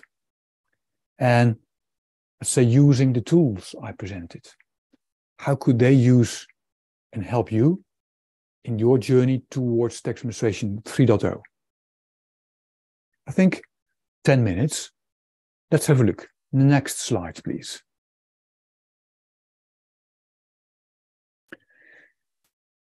I think, like all journeys, it starts with an assessment of where you are. If you're not sure where you are, it's yeah neutral which direction to follow. It's uh, it doesn't matter. So it's good to start assessing your tax administration's level of maturity per building block and and your position in the position in the maturity model will show you what next steps might be best and in many cases also for very high highly developed tax administrations continuing your current digitalization efforts and your current simplification efforts might be spot on before you start really transforming. Well, let's have a look. Next slide, please.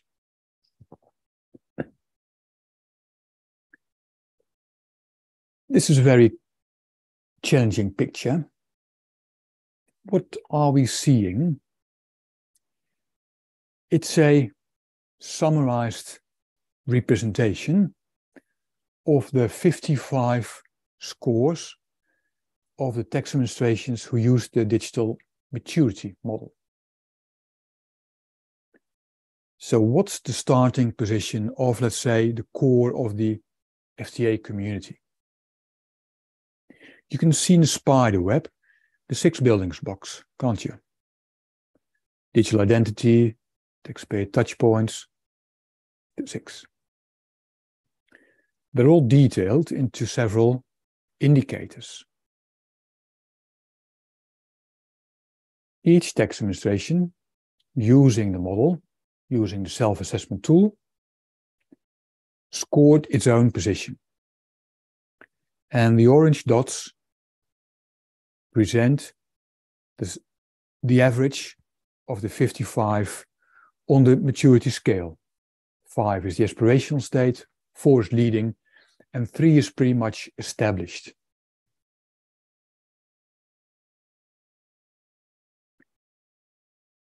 And if we have a closer look, things pop up, don't they?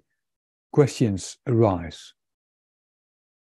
For example, in the right-hand corner below, 3.2 data security and privacy is the highest scored attribute of all, which is good, which is great. That's what you're hoping that tax administrations do. So, on average, tax administrations are beyond established from a data security perspective. That's good. Not all, but on average. You can see as well, if you look to the digital identity and, tax, and taxpayer touchpoint indicators, all pretty much established, pretty much okay. Whereas, if we look to the opposite indicators, the soft ones, HR ones, skill ones, governance ones, but below established, the majority of the tax administrations is still progressing from an HR perspective, all on average. Well, we'll come back to that in a minute. This spider web is presented in the report, the Tax Administration Digital Transformation Maturity Model. You can download it from the website, the FTA website, and you can have a closer look. But 55 tax administrations on average visualize this current starting position. The next slide. Wow. And that's a colorful illustration and, and, and a very detailed one. Well, challenging to, to perhaps see on your computer screen. But what it tries to visualize is all 55 scores. Each column, Kenya is one of the columns. I'm not sure which one because deliberately all columns are anonymized. But each column presents the scores of the 55 tax administrations.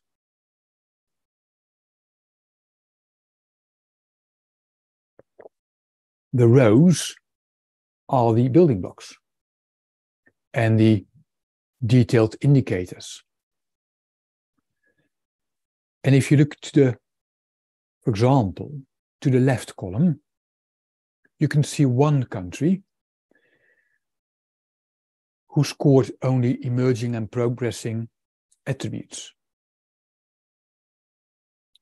And if you look to the very right one, you, you can see a country that, and it's a self-assessment. So it's a subjective, eh, it's, it's their own assessment.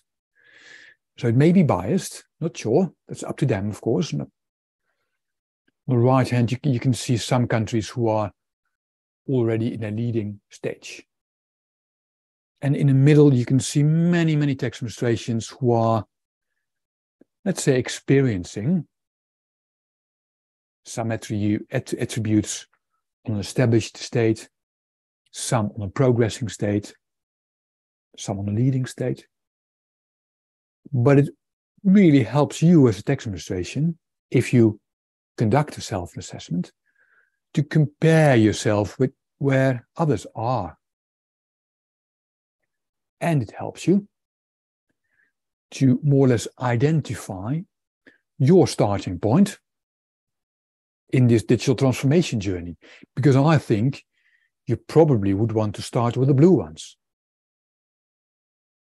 Why keep on investing in, in let's say, digital identity and taxpayer touchpoint indicators when they are already established, whereas your HR function and your ability to create governance relationships with external partners is still, let's say, lagging behind. You might want to start investing there. Well, this self assessment instrument helps you to score and helps you to have a sound strategic discussion within your senior management and within your staff, let's say, on the direction of your digital strategy. Where should we start given our self assessment? Hey, can we learn from peers? And this is a very, well, I would say, simple self assessment tool, which is a great way of starting a digital strategy process and, and, and trying to challenge each other on where you think and your employees think your organization is. Next slide, please. Well, just stepping back and pause a while. I mean, if, if we look to the, to the full data set, not much tax administrations are fully in a leading position already. And many tax administrations have a, a scattered set of and a mixture of scores on leading, established, and progressing. The striking thing to me was that from a technical perspective, okay, a lot of progression, a lot of investment, but hey, if we really want to change, we might want to have to invest more in a culture of change management, in new skill sets. It's all about the people and the culture. And from a transformational perspective, and let's say from a bringing rules to the data perspective, becoming a network partner in the future, then again, most tax administrations have first to start investing in tax rule management and governance frameworks, even the leading ones, before they can start this transformational journey. So be aware that you don't overestimate or underestimate your own position.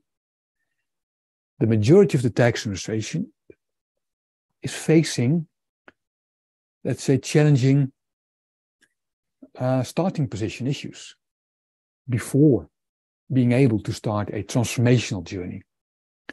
So, for many, investing in digitalization instruments, of course, from a dot on the horizon perspective uh, shared today, is the best strategy today. But it's good to have the dot on the horizon horizon in mind and step by step work towards it in a global community. And I think that's one of the great things of this model, this FTA community.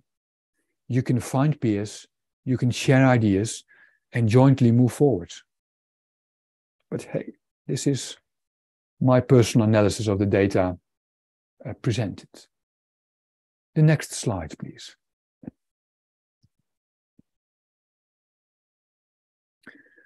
So this might be my suggestion on where to start.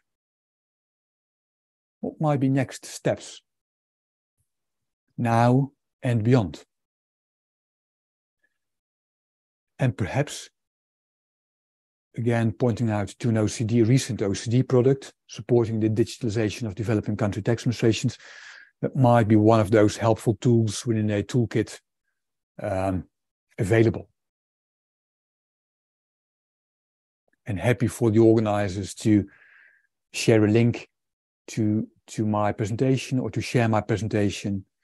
And you can you can download these kind of reports on the FTA publication website. But I think my advice perhaps sorry for being a bit straightforward perhaps but would be kind of three steps approach determine your starting position use the digital maturity model self-assessment tool.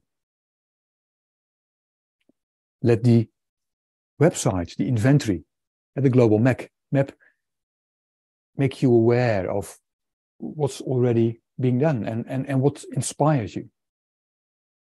And assess your capabilities, both internally, but also from your partners taxpayers, third party data providers, because the journey is a journey which we have to conduct together, together with societal partners, together with taxpayers. Then the second step would be design your domestic strategy or adapt your current digital strategy, which might focus for the short term on digitalization efforts, on simplification efforts. But keep the vision in mind. And my suggestion would be that you include the blue marked scores and aim for balancing the scores. If you're, if you're lagging behind, and that's perhaps a result in self-assessment. We've seen that in the heat map. If you're lagging behind on the HR aspect, why not start investing there?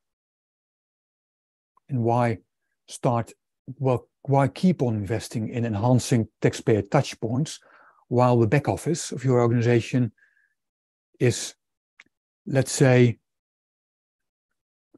well, let's say lag lagging behind. I'm not sure what how, how to phrase it, but keep the building blocks knitted together. So aim for a balanced balanced scorecard and be aware of the human factor. And then yeah, implement and and redesign and implement. It's an iterative process. You can reach out via all kind of organizations, ATAF or the FTA, for peer-to-peer assistance. If I can recall correctly, uh, the Kenyan Revenue Agency has had peer assistance together with, I think, the Australians and the Singaporean tax administrations are great joining up, supported by Tax Administration Without Borders, uh, and join up with your external stakeholders. Well, not much rocket science. It's um, I think it's all about starting to determine your your current position by using the tools. The next slide, please.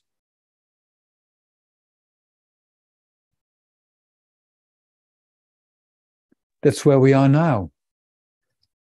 Now and beyond is your motto, and I hope I have conveyed the message that beyond is a journey and will be a long journey.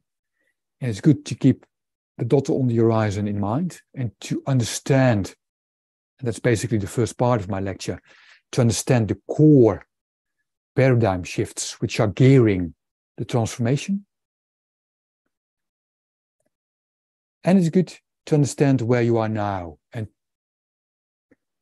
I think bringing those two elements together is the core of, let's say, the change process you're all facing. Well, I hope it helped.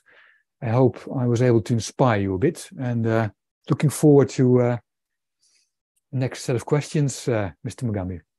Thank you.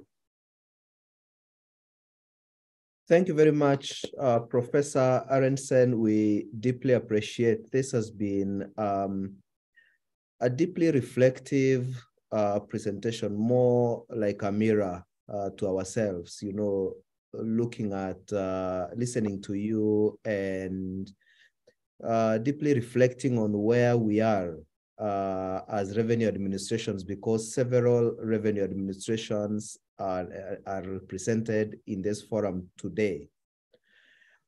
I want to ask a question as we go uh, to the panel. And uh, after my question, we'll have Commissioner Tera Saidimu. And then I will request that uh, Lillian Ofuenya, uh, who is uh, in the audience, also be unmuted after Dr. Tera Saidimu so that she can ask the question. We have over a thousand, close to a thousand five hundred people here today. It is completely impossible for me to be able to take all questions, uh, but uh, we're going to devise a way of dealing with this. Now, my question is, these journeys begin in the mind, and we have to transform mindsets and values and attitudes so that then we prepare people uh, to go towards this uh, direction that you've just talked about you have been involved in various uh, transformation processes and you've worked with various tax administrations, very specifically the Dutch tax administration. What are the two lessons perhaps we could pick on what they have done to trigger this change of mindset and values and attitudes to prepare people uh, towards uh, this movement? Thank you. This question really resonates because it's it's the deep driver I think behind your question is how could we join up? How could we learn from each other? Um, if I look back, I'm I'm pretty much inspired, especially by the examples from both the Australian and the New Zealand tax administration. The elements in their approach, which I really admire, is their outward looking, engaging attitude. So their deep awareness that tax administration, in the end, is not about running a tax administration, but it's motivating and getting in touch with your taxpayers. And being in touch with your environment. And so they are now, I think, ahead of many. And um, in their journey, they um, started reaching out to external parties, inviting them, software providers, um, tax practitioners, to start co creating. Because in the end, most of, let's say, these, might I say, middlemen, intermediary parties, have an interest in compliance management as well. They, like tax administrations and most taxpayers, do not like to make mistakes, do not like to correct things. They all like seamless processes uh, because failures are quality costs. Uh, so what I so that's my first what, what really resonated with me, their openness to co-creation with partners and, and trying to build trust relationships in which both parties gain. Because having good, fruitful relationships with intermediary parties, it's a great leverage.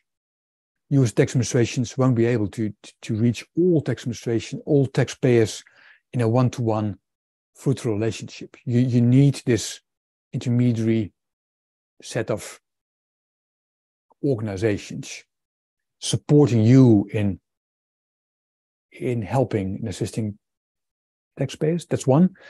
And the second one is is is the the human attitude and the uh, the deep understanding of the needs of their staff.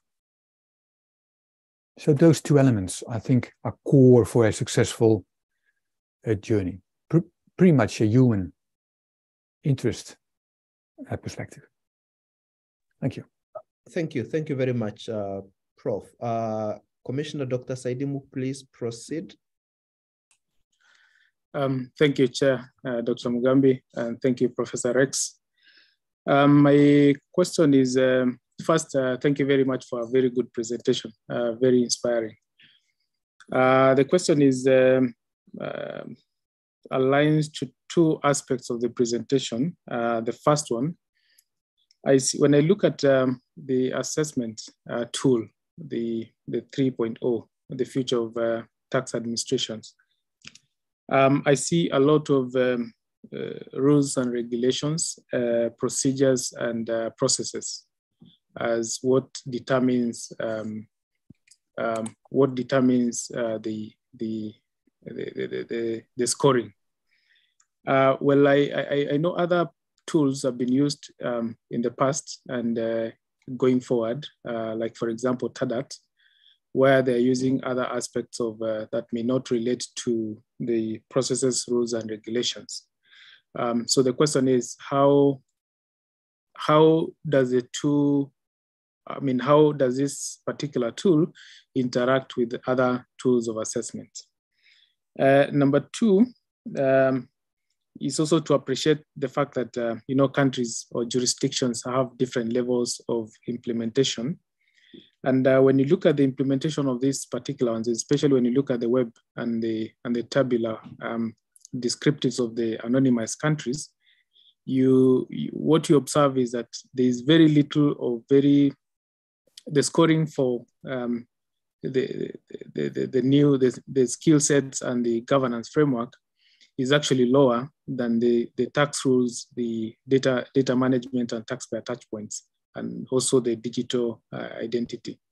So the question is, are we running ahead of time? Are the organizations or I mean tax administrations um, taking more um, more concentration in terms of their time in uh, digitizing and also regularizing the organizations more than managing the, the, the governance framework and the skill set.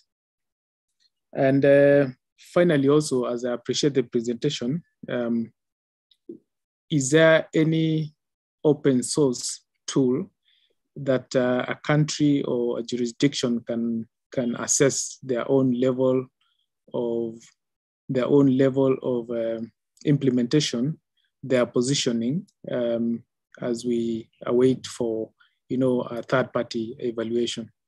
Thank you very much. Thank you very much. Very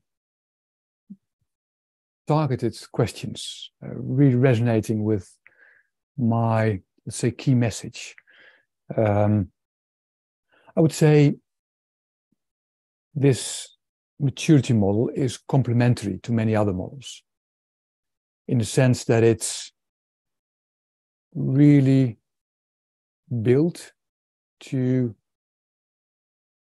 to help you understand where you are from a transformational perspective. So it's it's really um yeah that's i think the niche and the added value of this model. That it's a detailed description of the, the, the FTA vision and that it's in that sense not a technological driven model and not a model which is let's say based on the current tax administration model and its current way of organizing, which I think TADAT is much more focusing on, which is very helpful. So, so that's that's I think a great asset too. The difference with this model is that it's let's say much more created outside in. So from a new, another perspective, looking back to where we are now. So it's trying to create a new type of language, resonating with the text engine I presented in my first language. So instead of inviting you to assess your, let's say, current model and current way of organizing, the model challenges you from a, a journey perspective. And of course tries to from that perspective outside in of course tries to connect with the here and now in in progressing and emerging states. But it's i think it's a different starting point from a model design perspective and i think both models and there are more models of course are complementary um, and i think the funny thing of this model and, and the scores that it's open source you, you can easily find the model on the internet and you can compare with other other tax administrations. Um, and that's, I think, an, an, an, answer to your third question. It's you can find it on the FTA website, the digital maturity model, and the, the document contains a set of instructions, a score list, um, an email address in which, by, via which you can connect to the FTA uh, secretariat uh, I think, a very easy to use uh, model. Uh, and it, it also presents a set of process indicators summarizing how much time uh, tax administrations have, have used, which type of experts they used um, during the self assessments. So, a very practical open source tool. Yeah, and regards to your second question, yeah, I, I think again spot on regards your assessment of where most tax administrations are. Um, it's it's um, surprising perhaps if you see the average scores presented in the spider web to see that the majority of tax administrations have invested and are investing a lot in, let's say, client service and uh, taxpayer happiness, whereas perhaps the next step might be to invest more in employee effectiveness. And which which might then leverage in better taxpayer services better taxpayer understanding. So it might it might open up an unexpected and undiscovered richness of staff creativity. So but that's that's i think for me was a surprising finding of what I saw in the in the spiderweb summary. But again, I think based on your own assessment, you will find out where you are and what your next steps uh, might be. So I, I, I really hope this asks, answers uh, your question. Thank you. Uh, thank you. Thank you. Thank you. Thank you very much, uh, Prof. Uh, let us have Lillian. Uh, is Lillian here with us? Lillian Ofwenya? I saw your hand.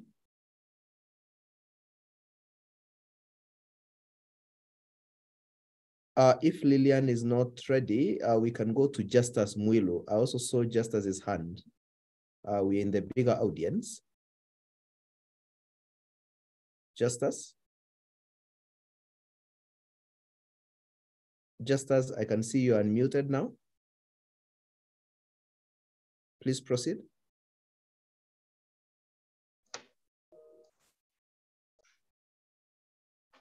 Are you there, Justus?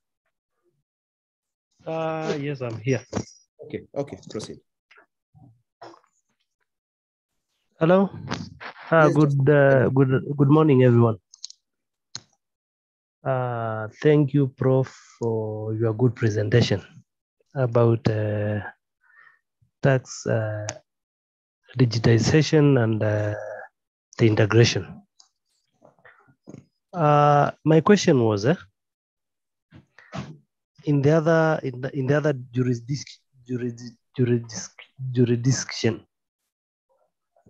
how have you how how how has uh, this worked well to, to, to ensure that uh, inclusivity that uh, the juakali is not left out the farmers are not left out. People who are not in the informal informal sectors that is one.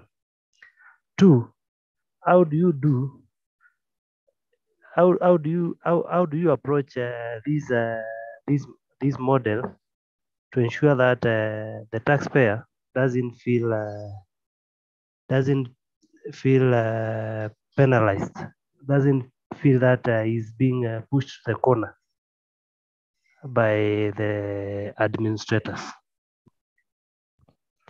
Three, how do you ensure that uh, the taxpayer doesn't run away? Because uh, in Kenya, we have a tendency of uh, tax uh, running away from paying the right tax tax.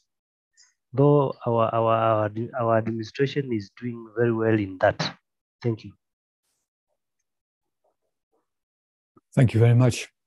Yeah, these are really challenging questions, and I think uh, they resonate with many of the challenges uh, tax administrations in the global south are facing. A large informal sector, how to engage with potential taxpayers in the informal sector, how to create tax systems that resonate, that are seamlessly connected and embedded in, in their daily lives and their economic situation.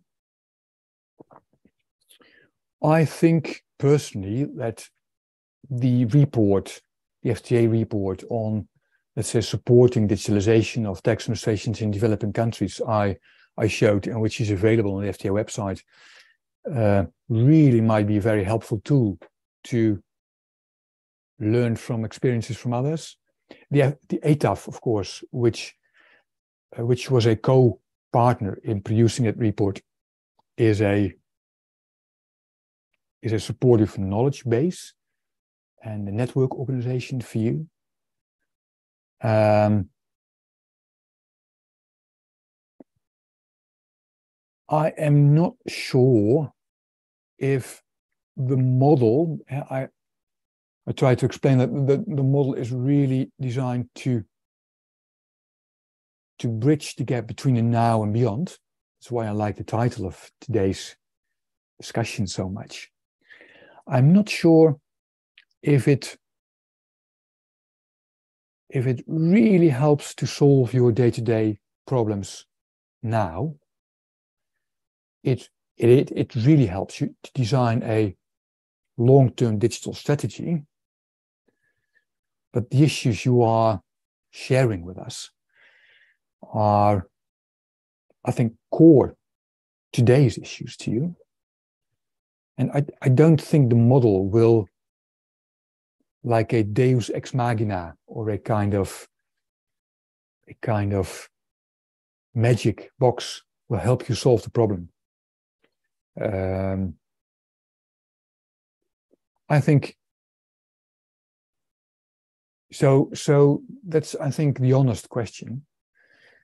Uh, that's why I raised the question: Hey, would digitalization or digital transformation be your journey, your first steps? Um, in the end, I think it's it's all about and and your three questions resonate with that, I think, pretty much. The journey is all about engaging with taxpayers and engaging with their daily life situation and daily life systems. And the, the question beneath and founding this journey is how to become a partner instead of scare taxpayers make them run away or give them the feeling that they will be penalized. Um, for example, and then I'll stop, a moderator, but um, one of the core findings in many tax gap analysis is that many faults are not made intentionally. So it's not intentional tax evasion. It's often a result of the lack of ability to invest in the right systems, a lack of understanding of how processes work.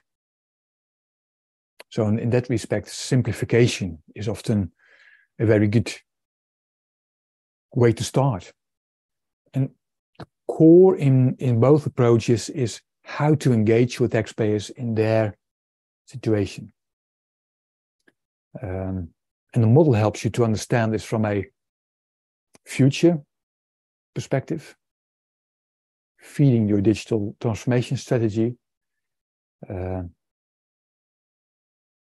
but it won't solve issues you are facing, challenging issues in how to engage with taxpayers in the informal economy. Uh, and that's really, really, really challenging. And, and I think many of the tax administration in the global south are really progressing in a good way in, for example, trying to collect e-invoice data, trying to engage with members of civil society to help and support taxpayers to do the right thing. Uh, it's all about, I think, the attitude of trying to be a partner and being trustworthy. Sorry for my long answer, Mr. Mugambi, but happy to hand over. We are in a bit in a time constraint, I, I, I guess, but handing over to you now. Sorry. Thank you. Thank you very much, uh, Professor. And uh, you're right, we have really run out of uh, time, but there is a very important question here. And uh, I think there's a question for you and my boss, uh, who, who unfortunately, I'll have to ambush. And uh, there's a question that has been sent to me. And the question reads, um, CG, we, as, we, we see and appreciate your effort towards transforming the organization to become more customer centric. What can we as citizens do to support you? Uh, I don't know whether Rex, you want to weigh in on that before I invite my boss to respond to that question, and then we come to the end. Wow, what an amazing question. Congratulations. Uh, congratulations. What can we citizens do? Yeah, I think that's perhaps it all boils down to that question, doesn't it? Uh, it's amazing. Um, because in the uh, what what I like is the the the deep intention in the question that um, you know in the end and a bit bit of a challenging answer perhaps but in the end citizens own the tax administration don't they in the end it's a bit bit awkwardly formulated perhaps but you're hoping to create together a society in which you can trust on each other's interests, trust on each other's commitment, citizens investing time and money to co-create society, to make to to to make tax administration happen. Uh, so, so one of my answers would be, yeah, what could citizens do? be an honest taxpayer and uh, share that gospel with your neighbors. Be transparent. Be the positive. Be the change, perhaps. Now I'm becoming to sound like a politician, perhaps, but but part of the transformational journey is, of course, doing this together acknowledging each other's position, uh, influence, but acknowledging that we're all human beings and that we're all hoping to create a better society in which we all have to play our role. And I think the key message of this transformational journey is that we're hoping to, well, may I challenge the commissioner by saying breaking down the bu bureaucracy a bit and trying to make it more open, engaged with society. And I think digital innovations will help and force us to make the shift on the long run. Because citizens, as they look around, they see society changing, they see their daily life and their daily systems changing. And honest and faithful taxpayers will ask, hey, where in this new changing world is my tax administration, which I like so much? Well, and the, I think the, the call for tax administrations is to be there, to be part of the change. And that's not easy. But I'm very happy to hear what Commissioner, how this resonates with the Commissioner. It's all yes, about human human interest, I think. That's that's that's basically uh, I think what it is. Thank you. What a wonderful question. Congratulations. Thank you. And the Commissioner General is here. And uh, CG, while you answer the question, please, you could also give us some closing remarks so that then we can hand over uh, to Ageni Wamba. Thank you very much. Um, let me start by appreciating that very uh, good question. And I'm very happy to know that there are Kenyans out there who have such a positive attitude towards payment of taxes and also the tax authority and are willing to come out and support. They are wondering how can we support this journey? And we truly appreciate that. Uh, first, we, as an, uh, the professor has very well articulated the journey which we will move, or the tax administrations are moving towards. And there is one question he posed and uh, remain in my mind that we should be moving to, a, to where we shall have tax administration without a tax administration. That, that was very intriguing and uh, really stuck in my mind. Begin to see that future. But back to this question, we truly appreciate that our taxpayer walk with us this journey and uh, through various support interventions. And one of them is having the right attitude towards payment of taxes. Like Professor have said, one must be honest. You must begin by wanting to pay taxes, wanting to comply as a citizen, wanting to do the right thing.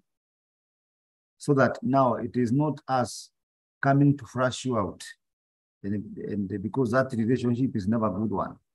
If there is a tax authority coming to look for you and uh, you are uh, hiding and all these other things, it's not a good one. But when we find you trying to do the right thing, trying to comply, then what you are looking for is assistance to do so, then we will be very, very glad to do so because it means your fundamentals are right. You first appreciate the, the need for taxes by government. You also know that taxes come from citizens and you are, you are, you are one of the citizens. You are willing to comply. You are honest. That is the attitude where we begin. And when we find you with that, then we are very, very happy. In fact, the conversation is a friendly one. Then the other support we need is uh, the, the, the, when I think Professor has alluded to it, when you become our advocate out there and uh, ambassador out there, and you talk positively about payment of taxes, you encourage others to do the same, uh, that is very, very helpful. The other one we would look for is more of feedback. We would like to get to continually get feedback from our taxpayers. Uh, whether the feedback is going to be positive or negative, we want feedback so that we can continue improving. We want to have a connection with our taxpayers so that then we, we know what they are, what they feel uh, we should be doing. What is it that we are not doing right and how, and not just feedback, but also uh, ideas and proposals of how we can improve. So when we receive those ideas, and we have we have various platforms within the authority. Some are emails, others are, are our touch point, uh, ta you know, touch, uh, points through our customer service uh, management. Uh, we have a, a complete uh, platform we call iWhi, so you can give ideas to us. We, we will appreciate that. Again, if you are, you could also even go further. Sometimes it's a complicated one, but when you have information about people not not paying taxes, we also appreciate that. You make our work easier. We will use that information in a confidential manner, and we will be able, you share that information with us so that we can you can support our tax compliance efforts so that then we we we go out there and enhance compliance. So from where I I sit, that attitude, that advocacy, feedback, uh, positive, uh, talking about payment of taxes and uh, encouraging your neighbors and the people you live with to pay taxes, being positive and uh, giving us ideas would be very, very helpful for the people out there. So that would be my request to you as we journey, we make this journey. Personally, I, I when I get into any office, may it be a government office or a private office, and I don't get attention in terms of the, the needs that I, the, the issues I wanted resolved. And I don't, I'm not treated with respect. I am not treated well. Just like any other Kenyan, I feel it. And that is what we are trying to do here. Because we must do unto others what we expect them to do, what is we expect to be done unto us. So we are building a culture where we will we are making it our responsibility that every taxpayer we, enc- we, we encounter with uh, leaves us with a positive experience. Yes, they may have some taxes to pay because the payment of taxes is legal, it's procedural, there are issues we shall go through.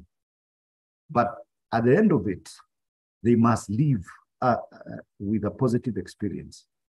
They must leave knowing that they, have, they, they are better and they have done something that is better for, in the interest of the country. That is where we are going. And we pray and believe that uh, with your support, we, we should get there. Now, turning to the closing remarks, first I must appreciate you, Professor. You have done a lot of justice to this conversation. We are very, very grateful. Indeed, your knowledge and depth of understanding is amazing. I'm sure we shall have uh, further engagements with you. I will ask my team to reach out so that we can get some deeper uh, engagement on some of these issues. They are very, very, very important. And I pray and hope that you'll be available for us. We, we would like to tap into that uh, knowledge. I would also want to appreciate the, the idea, the, the, the, the participants who logged in in huge numbers. Uh, the interest is high, 1,005, I saw it reach to 1,500 at some point, and it's amazing. The interest on this topic and, and on this particular public lecture was, was very high. We must thank you, all our participants, for coming in and for being very engaging. The questions we have pushed to the professor. I am sure the, the, I realize there were quite many and uh, deep. And uh, that level of interest is very good for any public lecture or for anyone who delivers a message to people and expecting feedback.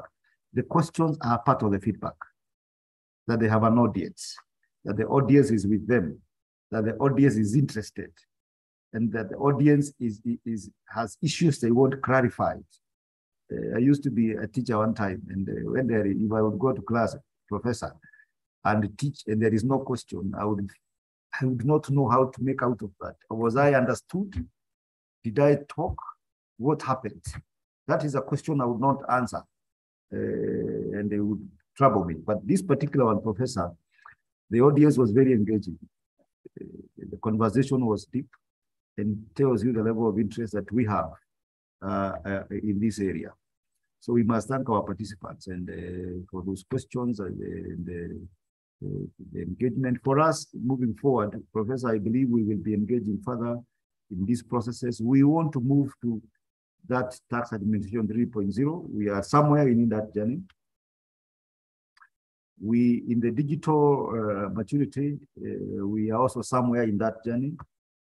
And we we have our own aspirations of where we want to move in terms of uh, especially what you brought out, that we now take tax administration to the societal uh, area of activity where they are generating uh, transactions.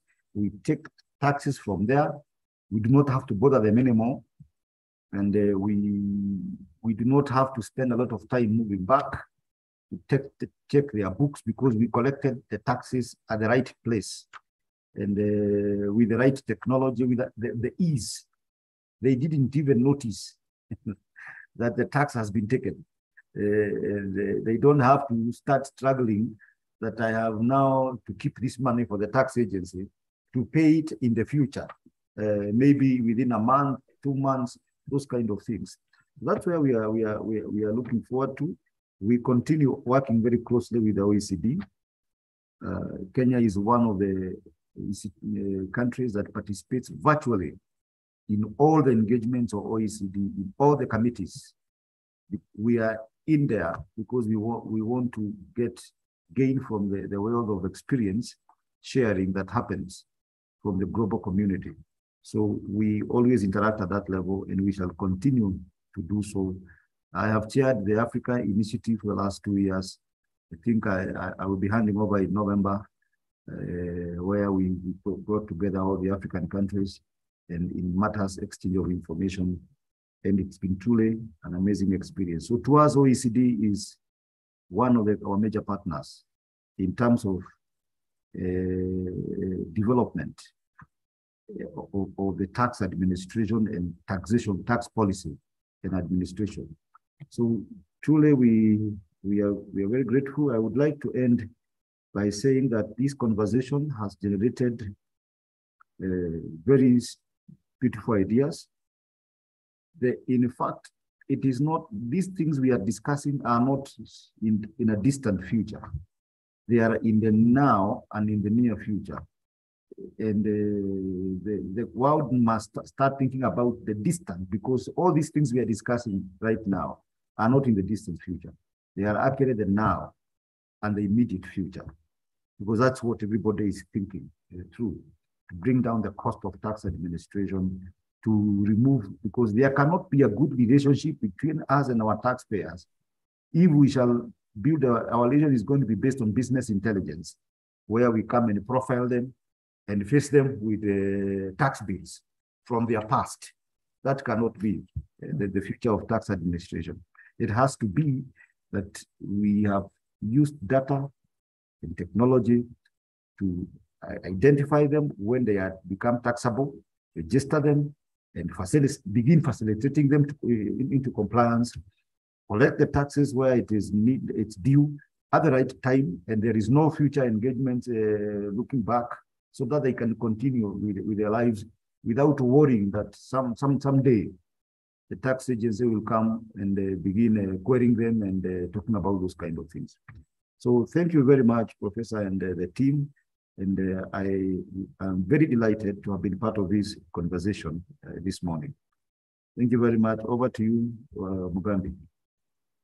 Uh, thank you very much, uh, CG. Uh, thank you very much, Professor Arendsen. We really appreciate your presence here. We know that your schedules are very, very busy and uh, we appreciate that you could join us.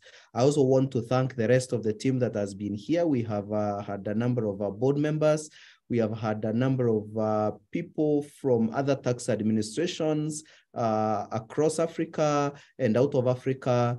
We have had a number of senior uh, government officials and um, senior private sector operatives. And, and so I really want to thank everybody and uh, thank you for giving me this opportunity to moderate this important uh, forum. This presentation will be placed uh, on the summit webpage, and so it is available uh, for everyone. And uh, may I now take it back to Agen Wamba. Thank you.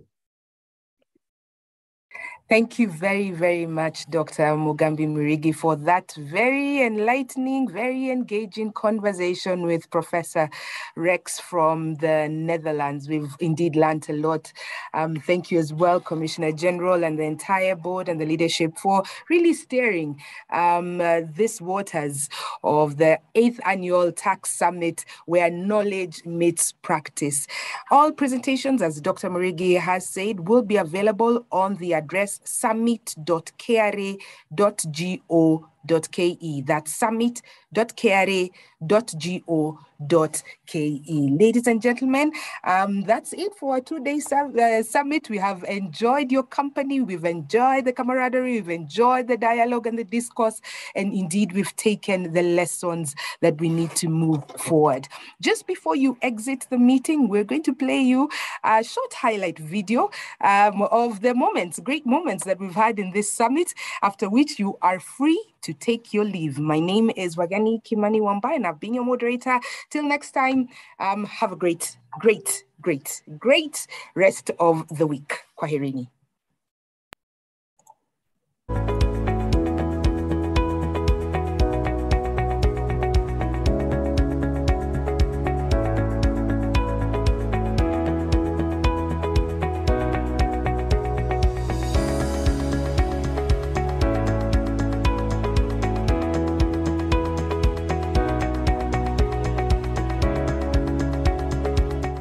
The requirements of large taxpayers are different from those of the medium taxpayers and those of small taxpayers.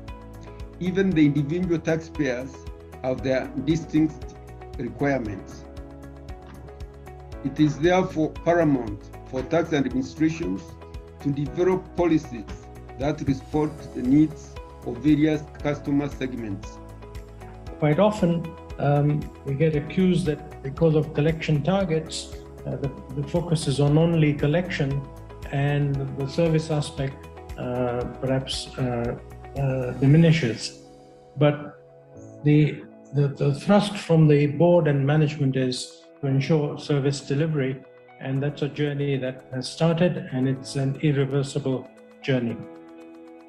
Technology reduces the burden of manual tasks by automating the processes. KRIS continues to leverage on technology to improve speed and accuracy in its tax services. For example, the iTax system has integrated almost all processes, making it convenient for taxpayers to access services while enhancing KRA's efficiency. It is important that we look at it from all angles, that it is not just for the sake of the tax administration, but more importantly, for the benefit of our taxpayers as we simplify our processes, as we try to make tax compliance easy. One of the impacts we've had is even in the community, you know, where we come in together as agencies, be, it at Moyale or Malaba or Taveta, you know, be it at the border between Namanga, you know, where Kenya and Tanzania are coming in, the community around there has grown. And we've seen impact in terms of you know, businesses cropping up, economic activities coming up. We've had a lot of influence and impact on the community. We've trained a lot of our women, especially, and there's a lot of focus on women and small scale traders. So there's a lot of that also. Interrelationship of the activities within the tax administration holistically and put in place interventions that encourage support and collaboration within the tax administration that then reflects out there to the taxpayers. The idea of digitalization uh, is good, but uh, we need also to be ready to, to, to, to, to implement it so that it can bring a good, a good change. So what are our prospects? We want to introduce the, the VAT rebate uh, program. We want to extend VAT on digital and online services, following the example of, uh, uh, of, of Kenya. So we are currently very much engaged with ATAF on a study to see what would be the impact of such a move uh, policy side. We are seeing uh, the uh, adoption of, of cloud technology.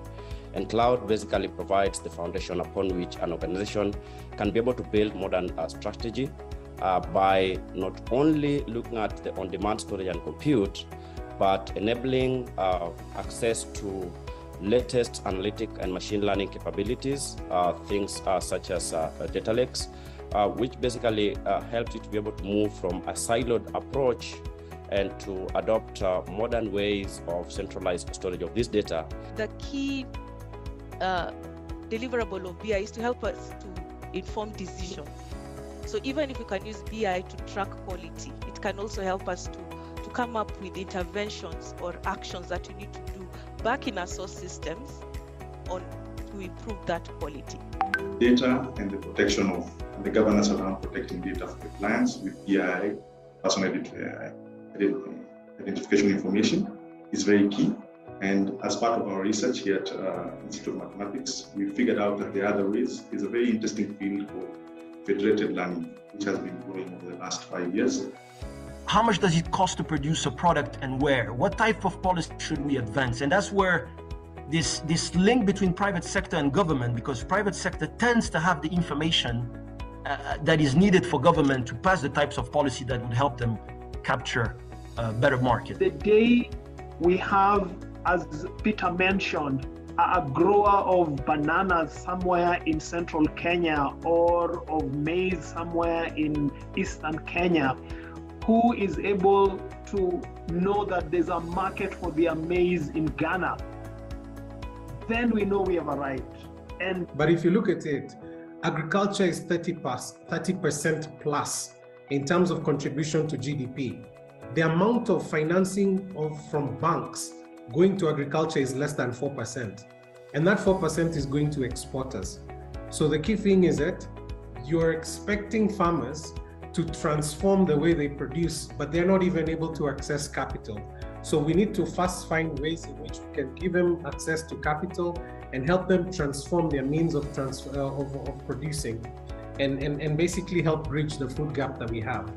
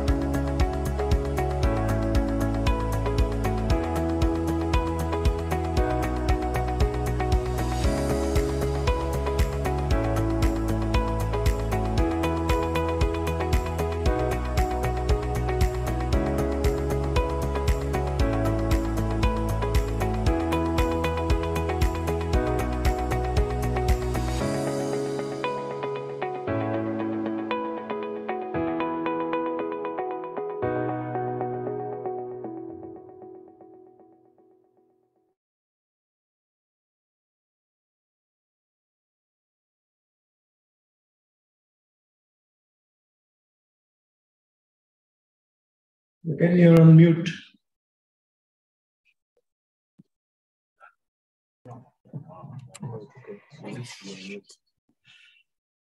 Such great highlights. Wow, we've had a very great laugh. Um, thank you very much to the media team for sharing those highlights. Um, very nostalgic, and we appreciate. All right, ladies and gentlemen, we are done with the summit, and you're free to exit the meeting. And please carry the lessons with you. Till next summit, please do enjoy yourselves. Asanteni.